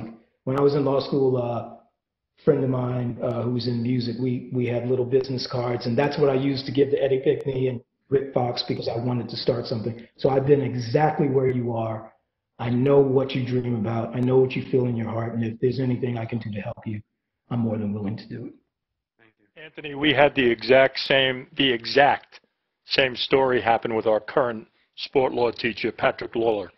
He was, uh, yep, uh, Patrick Peterson, cornerback for the Arizona Cardinals. Okay, Pat Lawler was his first agent. Okay, uh, representation. Right. Same thing, did everything, blah blah blah. One day gets the phone call, you're done. That's it. And there's nothing you can Big company. There's nothing you can Exact same story. Yeah, Yeah. you guys will hear that story next next year. Yep. So it's not for the faint of heart. The business isn't. Um, We seem to get a lot of um, a lot of job opportunities uh, in sales. The the Dolphins, the Marlins, uh, the Panthers. Um, you know, business to business sales, uh, premium sales, tickets. You know, just general ticket sales, season tickets. What- What's your thought on that? Everyone says you you know to make it you got to get into sales, you got to be involved in sales. Um, from your experience, maybe with the NBA, maybe over in, in Europe, just just general experience. Any any thoughts on that? Yeah, no, this is this is one of the growing areas because the, the, the global business of sports is growing by leaps and bounds. And um, it is a definite way to get in and learn how a business operates because sales is the lifeblood of an organization. Um, I read an article once, uh, and I'm, I'm going to probably not get this totally right, but it basically said that the majority of millionaires or billionaires around the world, uh, definitely in this country, um, they all have one thing in common, and that is at one time in their professional career, they were involved in sales. Um, it is a skill that you can use uh, in every aspect of business when you negotiate, um, when you're trying to uh, find a lease for your new office. Um, uh, there are skills that come uh, in handy in learning uh, from uh, working in the sales environment. But you've also got to understand that for these organizations, whether it's the Cincinnati Reds or the Miami Dolphins or the Pittsburgh Pirates, um, this is a very important part of their operations. And not only do you learn about sales, but you are in the heart of the organization and you can see how everything fits together, the mosaic of an organization. You understand how everything is related because most people that just see the team play have no idea what goes on behind the scenes. Um, I spent a lot of time uh, with different owners at the Dolphins. I spent um, a lot of, uh, had a lot of meetings with all different departments of the Dolphins, and I was always struck by the professionalism and uh, the understanding and their grasp of certain topics. Um, I would I would really advocate. Uh, I, I think I think I think younger people that want to get in the business see one or two things, like I was saying earlier uh, to Craig, that there's a wide range of, of different ways to get into the business. And just because you get into the business doing one thing doesn't prevent you from going in a different direction. Correct. And after, Correct. Once, once you get in the door, then you can go anywhere you want to. Um, because it's a business, it's a business that's built on relationships. If someone's knocking on the door and said, "Hey, I, I worked at uh, American Express or you know uh, some other business. But if they say I use if if if you're knocking on the door at the New York Yankees, uh, I used to work at American Express. They're like, okay, okay. But if you say, hey, I worked for the uh, Dallas Cowboys, they're going to listen. They will listen, and they may know someone. This business is all driven on someone that you worked with or a coach, uh, you know, that you coached you, or player. So any way that you can get in and establish, especially when you're younger, and establish yourself and start to build your resume, it's worth it. And it doesn't mean that you have to stay in that position for the rest of your career. And if you sit and you're a sponge and you soak in everything, you can either move through the organization. Uh, remember, Jerry Krause was involved with the White Sox, I think, before he came in. And I don't think he was always in scouting. I have a funny feeling that he was in operations or sales before he got out on the field with players. The bottom line is you can either move up in the organization or can you can use it as a stepping stone. But once you get in the sports industry and you have a solid resume, um, you can stay in the sports industry, and you're an insider, an outsider. Jerry Colangelo was uh, marketing with the Bulls. Okay, that, that was his, yeah, he was marketing and ticket sales. Pat Williams, the same thing. Promotions, marketing, became a great GM for the 76ers. Yeah. What a great guy. Pat's such a great guy. Awesome guy. Yeah. And, and, and, and like you said, it's all you need is a launching pad. All you need is a springboard. And after that, it's a question of how bad do you want it, what your passion is, and how how far are you're willing to go. How far you're willing to go. One or two more, maybe. Absolutely, as many as possible. I'm I'm here. Hi, Mr. Hilliard. This is Brian. Can you hear me? Yes, Brian, I can hear you. Nice to meet you. Hey. Okay, great. Nice to meet you too. Thank you very much for uh, joining us tonight. I just had a very quick question I saw on um, on your bio or your resume. It says you have uh, superior knowledge of NBA, NFL, and CFL collective bargaining agreements. I was just interested if you could elaborate a little bit on the NFL CBA and how you became involved in that. Was that from legal work, or was that dealing as an agent with players, and how that knowledge has really benefited you in, your career? Yes, sir. Very good question. The collective bargaining agreement or the roadmap or the Bible, if you will, for whatever sport or league that you're in. Um, these are long documents that act, actually describe every aspect of the business, um, from uh, how money is paid and divided, uh, how, how money is paid to players. Uh, you'll find in the NBA collective bargaining agreement issues about equipment and uniforms. It has everything in it.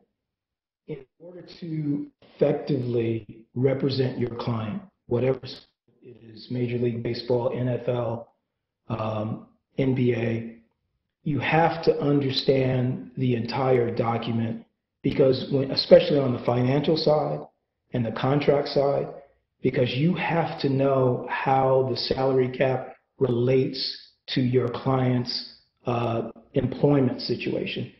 You have to understand what can be done and what cannot be done. Be done. You have to understand the rights that the team had. Uh, look at Dak Prescott right now, uh, who's in a contract uh, situation uh, with the Cowboys. Um, before the Cowboys took their action, before Dak and his representatives went in to talk to the Cowboys, they set a roadmap of all the possibilities of what could happen. And these days, things have changed so much. Like the NBA in the old days, it did not address rookie contracts and the values associated in each year depended upon where you were drafted. It was kind of wide open. You need, you have to know these documents inside and out in order to represent your client effectively. Otherwise, you'll be taken advantage of. Um, so, being the head I was and being on my, my hair was on fire uh, when I was younger. When I was in law school, I was reading these documents and I would sit up Professor Berry and say, "What does this mean?" When it, you know, um, I I just was immersed in it. But it, when I came out, I can tell you that my legal background um, helped me under, especially after going through constitutional law, constitutional law course, uh, studying the Constitution, the CBA is nothing. But it is imperative, imperative to know every aspect of these documents so that you can adequately represent your client. And you just take the time. You take the time to read it. You take the time. You're constantly uh, gathering information about where the cap is and what the, that's the big issue right now. The reason why a lot of these teams want to get back online, I'm sorry. The reason why a lot of the teams want to get back online and play is not just because of the loss of the money from the gate revenue or all of that, but it's because of the effects on the salary cap going out in the future. Um, I don't have all the details, but I think there are maybe six or eight teams in the NBA right now, if the salary cap were to drop, that they would only have a small amount in order to get players, and the rest of them will be in big trouble if the salary cap drops. How do you know these things? By reading the collective bargaining agreement, and it be, it becomes your best friend. But is it is the only way to adequately represent your client. You have to know it backwards and forwards. And you just read and study and read and study. Uh, you make mistakes, you learn from mistakes, but you get stronger uh, too as you move along. So, thank you very much. Appreciate your time. One more. We're starting to lose a little bit of bandwidth here, um, uh, so I don't know what's going on. We have maybe one more question, two more. Sure, as many as you want, sir. Okay. Hi, Anthony. It's James. I have a question. Um, uh, the NF, not the NFL in particular, but a bunch of like prominent players like Saquon, Zeke just put out a video like a few seconds ago, can like stating that they want the NFL to condemn racism and like admit that Black Lives Matter. Where do you see this going forward with not just the NFL, but just all the other major sports on like a not just a player level, but on an executive level in terms of like actually increasing diversity as a result of what's going on? The presentation, I mentioned to you that the NBA was the vanguard or always at the cutting edge of all of these issues, whether it be legal, financial, or social issues, inclusion, diversity. They recognized early on that um, the league had to reflect society. Um, I remember the first female referees came in, and it's not a big deal now.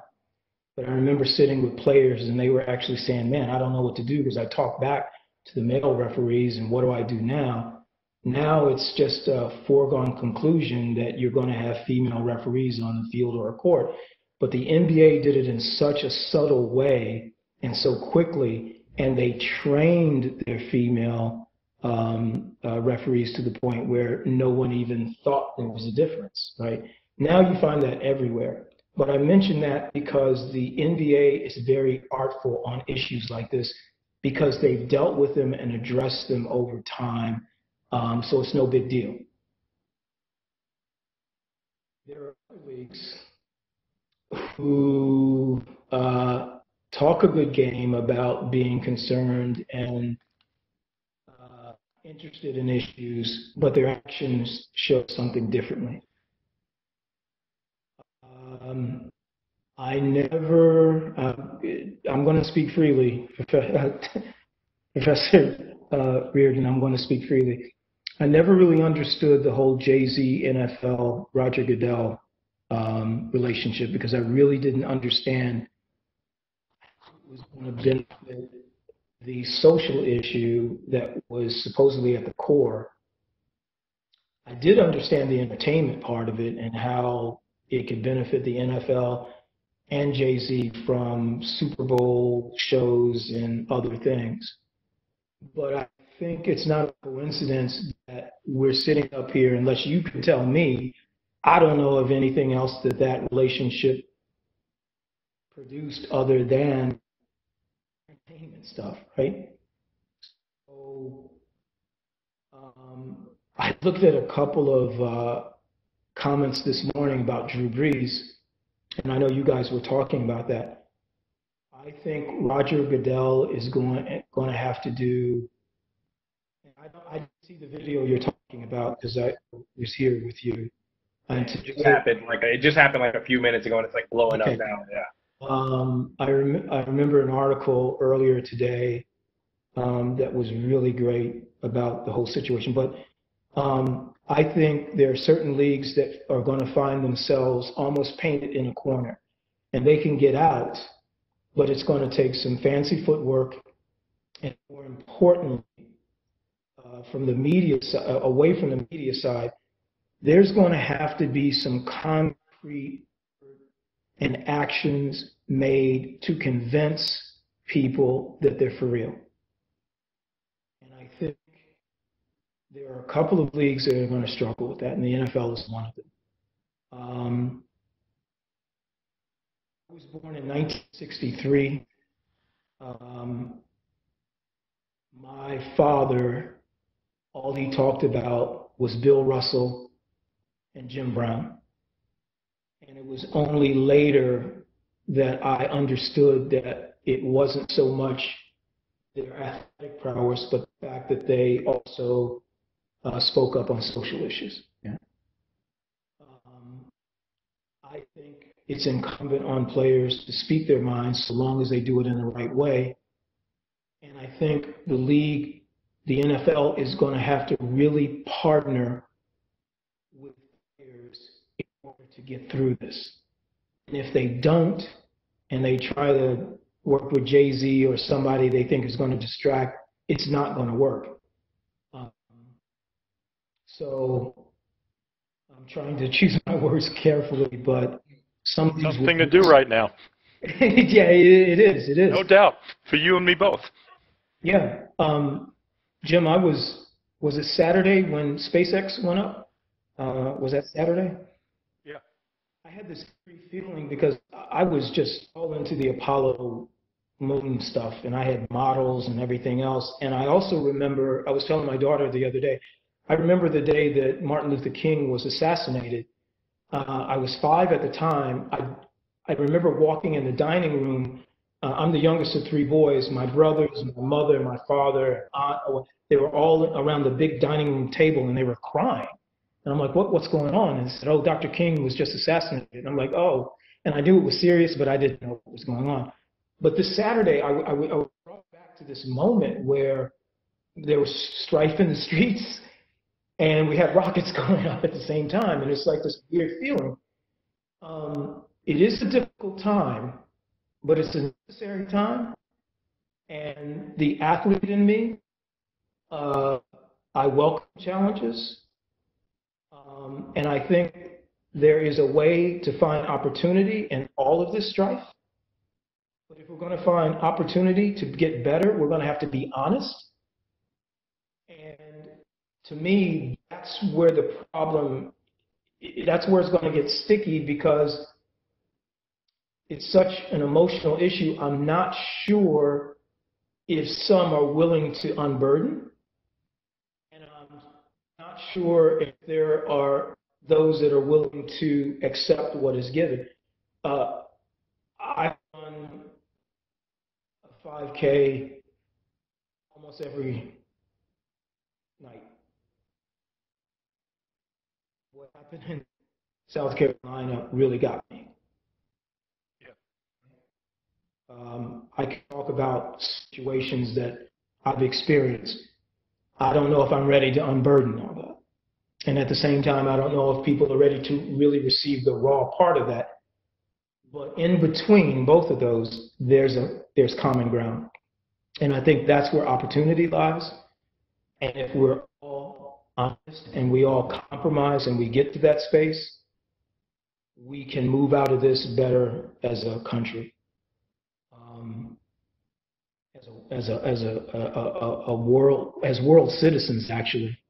So, uh, James, I don't know, uh, Liscombe, I don't know if I answered your question or not, but uh, we've got a lot of work ahead of us, and some leagues will breeze through this, and other leagues are going to struggle. And the only way that they're going to be able to come out of this in a good position is to really do some work because they haven't really been interested in doing work before. They could just put a band aid on it forgive my reference, now they're going to have to do real surgery and it's, it's going to be serious. But it's a decision. Where do you want to be? You want to be on the right side of history or you want to continue to just count money? Answer it because that was an honest answer. That's what, yeah, that's what I wanted. Okay. Okay. That's awesome. Thank you. Thank you. I'm, I'm from the Midwest, uh, the show me state. So, uh, my father used to have a term, brutally honest. Bottom line, we can find a way out of this, and we're we're resilient as a country, uh, and as a nation. We've dealt with this before, um, and it's time to make things better for everyone. And I think we could we could do that, but it's going to take a lot of work, and it won't be overnight. It won't be overnight. No. On that note, I'm going to thank you very much for being with us this evening, Anthony. It was an awesome job, and we'd like to just give you a round of applause. Thank you. Absolutely. Thank you very much. Yeah. It's certainly my pleasure, sir, and I, I, I'm I'm so appreciative of the opportunity to speak to your and with you. And I meant what I said. Uh, you tell me the right way, but I'm willing to help anyone that needs help, and I'm willing to contribute in any way that that I can. You don't have to tell me twice on that because we're always looking for advisors and people to help out and internship mentors and everything else. I know we have people looking to get involved in the in the law. Yes. So, all right. Um, All right. Thank you so much. I'm just going to keep these guys for another five minutes here, and then uh, we're going to end. Thank you again. Take care. Thanks. guys. Okay. Thank you.